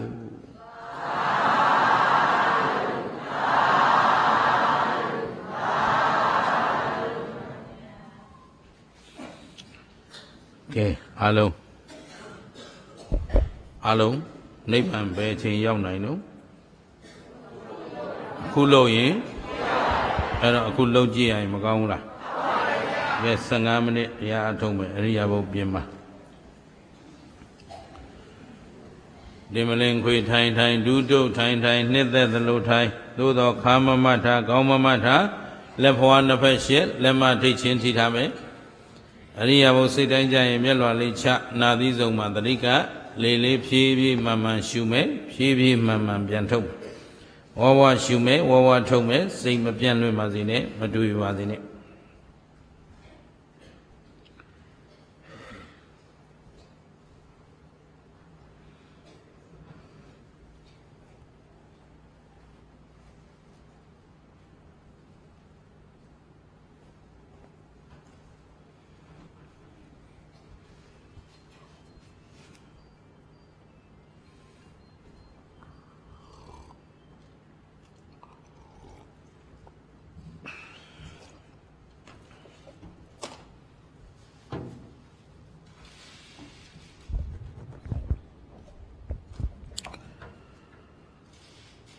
တိကထားပါသတိလက်မလွတ်ပါစေနဲ့ဝိပဿနာအလို့ဆိုတာဝိလေသိပတ္တိတိဝိပဿနာဆိုတဲ့အတိုင်းမိမိရဲ့ခန္ဓာကိုယ်ကိုမိမိတို့အထူးသဖြင့်စောင့်ကြည့်ပြီးတော့ ရှုမှတ်နေတာကိုဒါဝိပဿနာခေါ်တာပဲဝိဆိုတာအထူပတ္တဆိုတာရှုတာမိမိခန္ဓာလို့ပြောတော့တကယ်ခန္ဓာအရှိတရားကတရားပွဲမစခင်တော်ကောင်းလို့ဆိုလိုက်တဲ့ခန္ဓာအာယတနာဓာတ်သစ္စာပဋိစ္စသမုပ္ပါဒါတွေကခန္ဓာအရှိတရားတွေ ခန္ဓာဆိုတဲ့ခန္ဓာ၅ပါးကိုဝိပဿနာရှုလဲနိဗ္ဗာန်ရောက်တာပဲအာယတနာဆိုတဲ့အတွင်းအာယတနာအစ္ဆတိကာယတနာဆိုတဲ့ဓဝရ6ပေါက်ကိုဝိပဿနာရှုလဲနိဗ္ဗာန်ရောက်တာပဲဒီလိုမှမဟုတ်ဘဲနဲ့အာယုံ6ပါးကိုဝိပဿနာရှုလဲနိဗ္ဗာန်ရောက်တာပဲဒါမှမဟုတ်ဓာတ်18ပါးသူသဘောသူဆောင်တတ်တဲ့သဘော ဝိပဿနာရှုလဲနိဗ္ဗာန်ရောက်တာပဲသစ္စာကြည့်လဲနိဗ္ဗာန်ရောက်တာပဲပဋိစ္စသမုပ္ပါကြည့်လဲနိဗ္ဗာန်ရောက်တာပဲအဲ့ဒီတရားအလုံးဟာခန္ဓာလိုပဲပြောပြောအာယတနာဓာတ်သစ္စာပဋိစ္စသမုပ္ပါလို့ဆိုခြင်းရဆိုအဲ့ဒီတရားတွေဟာတကယ်တော့ခန္ဓာအရှိတရားတွေဖြစ်တယ်စာအုပ်ထဲကတရားတွေမဟုတ်ပါဘူး စာအုပ်ထဲမှာကမှတ်တမ်းတင်ထားတာတကယ်ရှိတာကခန္ဓာပေါ်မှာအဲ့ဒီစာအုပ်ထဲကပြောတဲ့သဘောကိုခန္ဓာထဲမှာမြင်ဖို့လိုတာပဲအဲ့တော့ဝိပဿနာဆိုတာအဲ့ဒီခန္ဓာအရှိကိုမိမိတို့ဉာဏ်အသိနဲ့ကြိုက်အောင်လုပ်တာဝိပဿနာလို့မှတ်ပါအဲ့တော့ဝိပဿနာအထူးရှုရမယ်လို့ပြောတာက ခန္ဓာ၅ပါးကြည့်ရင်ခန္ဓာ၅ပါးကို ထူးထူးလဲလဲစူးစူးဆိုင်ဆိုင်ဒါကြောင့်ဦးဇင်းကစူးဆိုင်ကြည့်မှ ထိုးတွင်းမြင်မယ်ထိုးတွင်းမြင်မှ ပိုင်းခြားသိမယ်ဆိုတဲ့လုပ်ငန်းစဉ်ကလေးကိုသင်ပေးလိရှိပါတယ်။ဘာဖြစ်လို့လဲဆိုတော့ဘယ်အရာပဲဖြစ်ဖြစ်အထူးဂယုစိုက်ပြီးမကြည့်ရင်အသေးအချာမသိနိုင်တာဒါဓမ္မတာပါပဲ အဲ့တော့တချို့ကလုပ်ငန်းစဉ်ကိုဝိပဿနာအကြောင်းနားမလဲတော့ဝိပဿနာဆိုတာလုံမရှိရဘူးဖော်မရှိရဘူးဤမျိုးစုံလိုက်ပြီးတော့ဝေဖန်ကြကက်ကွက်ကြပုတ်ခတ်ကြရှုံချကြလုပ်နေကြတာအဲ့ဒါအလုံးမလုံးဘူးတဲ့အလုံးမလုံးတဲ့လူတွေပြောတဲ့အပြောပါအလုသမားလျှောက်တဲ့လမ်းနဲ့အလုသမားပြောတဲ့စကားကိုစိတ်ကူးရင်သမားတွေနားမလည်နိုင်ဘူးဟေး အလုသမားအသိကိုစိတ်ကူးရင်သမားမသိနိုင်တယ်လို့စိတ်ကူးရင်သမားအသိကိုလည်းစိတ်ကူးမှမရင်ဘူးသေးတဲ့စာဖတ်နေတဲ့လူကလည်းမသိနိုင်ဘူးဒါလုပ်ငန်းစဉ်ရဲ့နိယာမသဘောတွေပါဘသူဘသူမှဝေဖန်เสียပုတ်ခတ်เสียစုံချเสียတိုက်ခိုက်เสียအကြောင်းမရှိဘူးစာဖတ်ပြီးပြောတဲ့လူကစာစကားပဲပြောမှာပဲ စိတ်ကူးရင်ပြီးပြောတဲ့လူကလည်းကြံစပြီးပြောတော့သူကြံစမိတာတွေသူပြောနေမှာပဲတကယ်အလုတ်လုတ်ထားတဲ့လူကြတော့အလုတ်စင်နဲ့ပတ်သက်လို့ရှုမြင်သုံးသပ်မှုလေးတစ်ခုစင်ကြယ်ဖို့အတွက်သူဘလို့ရုန်းကန်ခဲ့ရတယ်သူဘလို့အထုတ်ခဲ့ရတယ်ဆိုတာတကယ်လုတ်ကြည့်တဲ့လူမှသိတာလုံမထားရင်မသိပါဘူး ဒါတော့အလုတ်သမားတွေကိုသွားပြီးတော့မေးတော့ဒီနေ့ကိဉ္တုကောပမသုတ်မှာယဟန်လေးမေးခဲ့တဲ့ပုဂ္ဂိုလ်အမေခံပုဂ္ဂိုလ်အလုံးဟာယဟန္တာတွေနိဗ္ဗာန်မြင်မိသားပုဂ္ဂိုလ်တွေအမြင်စင်ကြယ်မိသားပုဂ္ဂိုလ်တွေကြီးပဲဆိုတော့လက်လက်တွေ့သမားတွေဖြစ်ပါတယ်မေးတဲ့ပုဂ္ဂိုလ်ကလက်တွေ့မပါတဲ့ပုဂ္ဂိုလ်ဒါကြောင့် ကျေးဇူးရှင်ဘုဂုဆရာတော်ဘုရားကြီးကဟောဒီဂိန်တုကောပမတုတ်ကိုကိုတွင်စုံစမ်းရေးတရားဆိုပြီးတော့ပုဂ္ဂိုလ်ကို ရှုမြင်သုံးသပ်ဖို့ခေါင်းစဉ်တည်ပြီးတော့ဟောပါတယ်ဒါအမှန်တရားပါပဲကိုတွင်ကိုခန္ဓာအရှိတရားကို ကိုပြန်လဲသုံးသပ်ဖို့အရေးအကြီးဆုံးပါပဲငင်းခုန်နေကြဖို့ဝေဖန်နေကြဖို့မဟုတ်ပါဘူး တုတ္တမယစိန်တမယဘာဝနာမယဉာဏ်စဉ်၃ပါးရှိပါတယ်တုတ္တမယဉာဏ်ဆိုတာသူများပြောလို့သိထားတဲ့ဉာဏ်ကြာဘူးနာဝရှိတာတုတ္တမယဉာဏ်အဲ့ဒီတုတ္တမယကိုရင့်ကျက်ဖို့စိန်တမယနဲ့သွားရပါတယ်စိန်တမယဆိုတာကြံစီပြီးတော့သိတာပါကြံစီတဲ့နေရာမှာလဲနီးမှန်လမ်းမှန်ကြံစီတတ်ဖို့လိုပါတယ်ယုတ်ကဖောက်ပြန်တယ်လို့ ကြားဘူးထားတဲ့သုတ္တမယဉာဏ်ရှိရင်စိန်တမယကဖောက်ပြန်ခြင်းသဘောဆိုတာဘာလဲလို့သိဖို့ကြိုးစားရမှာဖြစ်ပါတယ်ဒါကိုဝေဖန်နေဖို့မဟုတ်ပါဘူးပြစ်တင်ကုန်းကဲ့ရဲ့ရှုံချနေဖို့မဟုတ်ပါဘူးဖောက်ပြန်ခြင်းသဘောကိုသဘောပေါက်ဖို့ကြံစီရမယ်အဲဒီလိုသဘောပေါက်ဖို့နားလည်လာပြီသဘောပေါက်လာပြီစဉ်းစားလို့ ပေါက်လာပြီဆိုရင်ဘာဝနာမယအဲ့ဒီကိုရှုမြင်သုံးသပ်လို့ဆင်ခြင်မိလို့သိတဲ့အသိလေးကို ပွားများနေရမယ်ကျင်ဖန်များစွာလေ့ကျင့်နေရမယ်ဦးဇင်းတို့တော်ကောင်းတို့တွေစာသင်မှုတဲ့လူတွေကြီးပါပဲစသင်သင်ချင်းဝဝလုံးကလေးဝိုင်းဝိုင်းရေးဆိုတာရေးရေးချင်းဘယ်သူမှမဝိုင်းပါဘူးတခါရေးလို့ ကံအားလျော်စွာဝိုင်းရင်ဝိုင်းသွားမယ်နောက်တစ်ခါအလေးကျင့်မရှိရင်နောက်တစ်ခါရေးတော့မဝိုင်းနိုင်တော့ပါဘူးအဲ့တော့သာဝရဝိုင်းသွားအောင်ဆိုဘာလို့ ਆ လဲကျိန်ဖန်များစွာဝါလုံးရေးချပုံမှတ်ချဝါလုံးရေးချဝါလုံးရေးဝပုံမှတ်ချဆိုပြီးတော့အကျဉ်းချင်းဆိုအကျဉ်းချင်းရေးရပါတယ်ဒါဝါလုံးလို့မှတ်မိသွားအောင်ပါဒီတိုင်းပဲရုပ်ဟာဖောက်ပြန်တဲ့သဘောဟာ ဒီသဘောပဲလို့ဆင်ကျင်မိလာရဲ့အဲ့ဒီဆင်ကျင်မိလာတာလေးကိုကျိန်ဖန်များစွာအထက်ထက်လေ့လာကြည့်တော့မှဩဖောက်ပြန်ခြင်းသဘောတက်တက်သူမဟုတ်ငါမဟုတ်ယောက်ျားမဟုတ်မိန်းမမဟုတ်ပုဂ္ဂိုလ်တ attva မဟုတ်ကိုတော်တော်ကောင်းလို့နေစဉ်ဝိပဿနာတရားနာရင်ဒီဒီစကားတွေကြားဖို့နေမှာပဲယောက်ျားရှိသလားမရှိပါဘူးဖေ။မိန်းမရှိသလားမရှိပါဘူးဖေ။ အော်နေပေမဲ့ကိုယ့်မျက်လုံးထဲမှာယောက်ျားယောက်ျားလို့မြင်နေတာပဲမိန်းမမိန်းမလို့မြင်တာပဲရှိနေတာပဲမရှိဘူးလို့ဘုန်းကြီးអော်လို့လိုက်អော်နေတာကိုညံနေတော့မိန်းမဟာမိန်းမပဲယောက်ျားဟာယောက်ျားပဲဘာဖြစ်လို့လဲဖောက်ပြန်ခြင်းသဘောကိုညံနဲ့မသိသေးပဲနဲ့ပတာရစက္ခုလို့ဆိုတဲ့တဏ္ဍမျက်လုံးနဲ့ကြည့်နေလို့ဒါကြောင့်မျက်လုံးကြီးတွေပိတ်ပိတ်ထားရတယ်ဆိုတာ တရားရှုတော့မယ်ဆိုရင်မြတ်စွာဘုရားလမ်းညွှန်တာကိုကထင်ရှားပါတယ်တချို့တရားတရားမရှိသူတွေကကိုယ်စိတ်ကူးနဲ့ကိုယ်စတန့်ထွင်ပြီးတော့ရှောက်ပြောနေကြတာမြတ်စွာဘုရားကတော့တရားအထုတ်ဖို့လမ်းညွှန်တိုင်းမှာ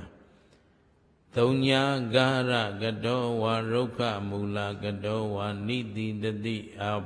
ပလင်္ကံအာဘုစိတ်တဝါဥဇုံကာယံဒီကစ အာတာပိသံပဇာနောတတိမဝိနေယလောကေအဘိဇာဒေါမနတံอืมဒါတရားလမ်းညွှန်မှုလေဦးဇင်းတို့ကတော့စာပေတွေမှာမြတ်စွာဘုရားရဲ့အဆုံးအမတွေလေ့လာနေရတော့ကိုညာထဲမှာသိနေတာပေါ့တို့တရားဓမ္မကြီးတွေကတော့လိလာခြင်းမရတော့ဦးဇင်းတို့ပြောသမျှဟောသမျှကိုမှတ်သားကြရမှာဖြစ်တော့သုံးညာကာရဆိုတာအာယုံကင်းစိတ်ရာကိုချင်းကပ်ဆိုတော့ အာယုံကင်းစိတ်ရာဆိုတာတောထဲသွားတောင်ထဲသွားဒီလိုမဟုတ်ဘူးအမြင်အာယုံအကြအာယုံအနအနတ်အာယုံအရသာအာယုံအရအာယုံလေးတွေပေါ်မှာအတတ်နိုင်ဆုံးနဲနိုင်သမျှနေတဲ့အာယုံနောက်ဆက်မှုနေတဲ့အနေအထားနဲ့နေပါဒီလိုပြောတာမျက်စိမိတ်လိုက်တော့အစင်းအာယုံရဲ့အနောက်ရှက်ကလွတ်သွားတာပေါ့စိတ်ငြိမ်ရာဆိုတော့အတန်တိတ်တဲ့နေရာသွားလိုက်တော့အတန်နောက်ရှက်ခြင်းကကင်းသွားတာပေါ့ အနံ့ဒီတိုင်းပဲအရသာဒီတိုင်းပဲဆိုတော့တင်မလင်ခွေမျက်စိမိတ်ပြီးတော့ထိုင်နေတာဒါပဲအာယုံနဲနိုင်သမျှနဲအောင်ကြိုးစားတာတုံညာကာရကတောဝရုခမူလကတောဝရုခမူဆိုတာအဲ့ဒါပဲလူသူလေးပါးကင်းစိတ်ပြီးတော့လူသူလေးပါးအမှုကိစ္စရှင်းတဲ့နေရာအာယုံနေတဲ့နေရာသွားပြီးတော့မှနိတိတတိပလင်ကံအာဘုစိတ်တဝါထက်ဝယ်ဖွဲ့ခွေထိုင်နေပါ အသေးချညွန်တာထိုင်မှတရားလားထိုင်နေမှတရားလားဒါညင်းစရာမလိုပါဘူးဘာလို့လဲကိုယ်စိတ်ကလေးကိုတည်ငြိမ်မှုနဲ့ကိုယ်ရုပ်ကိုယ်နာအကြောင်းကိုကြည့်တော့မဲ့ပုဂ္ဂိုလ်တယောက်ဉာဏ်နဲ့ကြည့်မှာကံမျက်လုံးနဲ့ကြည့်မှာမဟုတ်ဘူးဒီတော့ရက်နေရင်လည်းဒီခန္ဓာကိုယ်ကြီးလဲမသွားအောင်ရိမ့်မသွားအောင်ရိုင်မသွားအောင်ကြောင်းကြောင်းစိတ်တွေဖြစ်နေမယ်အာယုန်တွေထွေပြားနေမယ်လမ်းလျှောက်နေရင်လည်းခလုံးမတိုက်အောင်ကြိုင်နဲ့မကြအောင်မလဲအောင်မချော့အောင် ဂယုဆိုင်နေရအဲ့တော့အရင်ဆုံးကိုယ်တတိပဋ္ဌာန်လေးအားကောင်းလာအောင်ပလင်ကံအာဘုစိတ်တူဟာဥဇုံကာယံခန္ဓာကိုယ်ဖြောင်းဖြောင်းထားဆိုတာဒါတတိနဲ့ဝရိယမြဲမြံမှုပြီးလိုက်တဲ့ထဲမှာကိုကစနစ်တကျပါပြီးသားယောဂီတို့ဘာမှတွေးဝေမနေနဲ့ဘာမှညင်းခုံမနေနဲ့သူများပါဇက်လမ်းမဆုံးနဲ့ကိုကိုယ်တိုင်တမာရီတည်နိုင်ဖို့အရိယာဘုတ်၄ပါးထဲမှာလျောင်းထိုင်ရသွား အရိယာဘုတ်၄ပါးထဲမှာကိုယ့်ဟာကိုရွေးလိုက်ဘယ်ဟာ stabilize တည်ငြိမ်မှုအရှိဆုံးလဲဘယ်ဟာ safety ဘယ်ဟာလုံခြုံမှုအရှိဆုံးလဲဒါပဲပေါ့ကိုကိုကိုတည်ငြိမ်မှုအရှိဆုံးနေရာဟာတမာတိတည်နိုင်ဖို့အကောင်းဆုံးပဲအရိယာပုဂ္ဂိုလ်ရွေးပါပြီးတော့မှအတ္တပိသံပဇာနောတတိမဝိနေယလောကိတံပဇိညဆိုတာမပြတ်အစဉ်အမြဲမပြတ် တတိတရားကို ရှိကထားပြီးတော့အခုလဲအဲ့ဒီလိုအထုတ်ရင်းနဲ့မြင်လာသမျှကြားလာသမျှ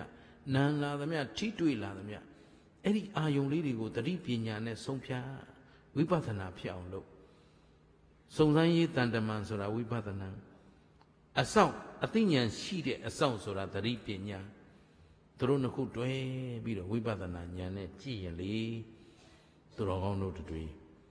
ဒီယုတ် ဓမ္မနံဓမ္မယုတ်တဘာဝသဘောနိယာမနံတဘာဝသဘောနိယာမအဲ့ဒီနိယာမတွေမြင်တော့အမှန်ကိုဆုံးဖြတ်နိုင်လာမယ်နိယာမအမှန်ကိုသိလိုက်တာနဲ့တစ်ချိန်တော့သူတော်ကောင်းတို့မွေးရပါတန်တရာကပါလာခဲ့တဲ့မတိခြင်းအဝိဇ္ဇာရစ်ပတ်နောင်ဖွဲ့ခြင်းတဏှာချီနှောင်ထားတဲ့ဒိဋ္ဌိ ဒိဋ္ဌိဗန္ဒရဗန္နာဒေတနာသောတေနဝုံရှရိဒနာသောတေနဝုံရှန္တာနတေဒုက္ခပမုတ်စရိဒိဋ္ဌိကြိုးတွေချီးပြီးတော့တဏှာရည်တဲ့မျောနေရင်ဘယ်တော့မှမင်းတို့ဒုက္ခငြိမ်းတဲ့နိဗ္ဗာန်ရမှာမဟုတ်ဘူးတဲ့အဲ့တော့ဒိဋ္ဌိကြိုးကိုဖြတ်တောက်ဖို့အမှန်မြင်အောင်ကြည်ကြစို့တဏှာရည်ကလွတ်မြောက်ဖို့တဏှာရည်ကကူးမြောက်ဖို့ ဝိပဿနာဉာဏ်နဲ့ကူးကြစို့နော်ဝိပဿနာဉာဏ်နဲ့သာတခါတည်းဒီတဏှာရည်တွေကလွတ်အောင်ကူးရင်တဲ့ဒိဋ္ဌိကြိုးတွေပြီးတဏှာရည်ကလွတ်ပြီးတော့ကြီးကုန်းထက်နဲ့တူတဲ့ထောက်ရာတီရာမိရာဖြစ်တဲ့မေဖို့နိဗ္ဗာန်ကိုဧကံမုတ်ချရပါလိမ့်မယ် တဏှာနိယောဒောနိဗ္ဗာန်အာတပိသမ္ပဇာနောတတိမာဝိနေယလောကေအဘိဇာဒေါမနတံခမရတို့ကျွတ်တို့ကိုနှိမ့်ဆက်နေတာတောင်းတခြင်းနဲ့ကြောင်းချခြင်းတွေပါအဲ့ဒီတောင်းတခြင်းကြောင်းကြခြင်းကင်းတာနိဗ္ဗာန်ပဲတဲ့အားလုံးအဲ့တော့တောင်းတခြင်းကြောင်းကြခြင်းဟာဘယ်မှာရှိလဲမေးရင်ခန္ဓာမှာကန့်ညိနေတယ် ဘာလို့ကန့်ညိတာလဲလို့မေးတော့ခန္ဓာအရှိကို အမှန်မသိလို့ကန့်ညိနေတာဒါဖြင့်ခန္ဓာအရှိအမှန်သိအောင်ဘာလုပ်ရမလဲဆိုတော့ဝိပဿနာလုပ်ရမယ်ဝိပဿနာနဲ့ကိုယ်တွင်းစုံစမ်းရေးကြာကြာနာနာစစ်ဆေးကြည့်လို့အမှန်မြင်တဲ့နေ့တောင်းတခြင်းကြောင်းကြခြင်းကင်းတဲ့နေ့မညာဆိုတာဒါပဲခန္ဓာစွန့်တဏှာစွန့်နိဗ္ဗာန်မြင် ခန္ဓာပေါ်မှာကန့်ညီခြင်းလုံးဝမရှိတော့ဘူးခန္ဓာကိုလည်းစွန့်လိုက်ပြီတဏှာကိုလည်းစွန့်လိုက်ပြီခန္ဓာစွန့်တဏှာစွန့်ဘာဖြစ်တော့နိဗ္ဗာန်မြင်တယ်တဲ့နော်ကိလေသာအပူတို့ငြိမ်းအေးတာနိဗ္ဗာန်ကိုမှန်မှန်ကန်ကန်ရှုမြင်သုံးသပ်နိုင်တဲ့ပုဂ္ဂိုလ်တိုင်းမျက်မှောက်ပြုပါလိမ့်မယ်။ ဒါကြောင့်ဘိက္ခုနံတတနံသူဝိသုဒ္ဓံဟောတိတိ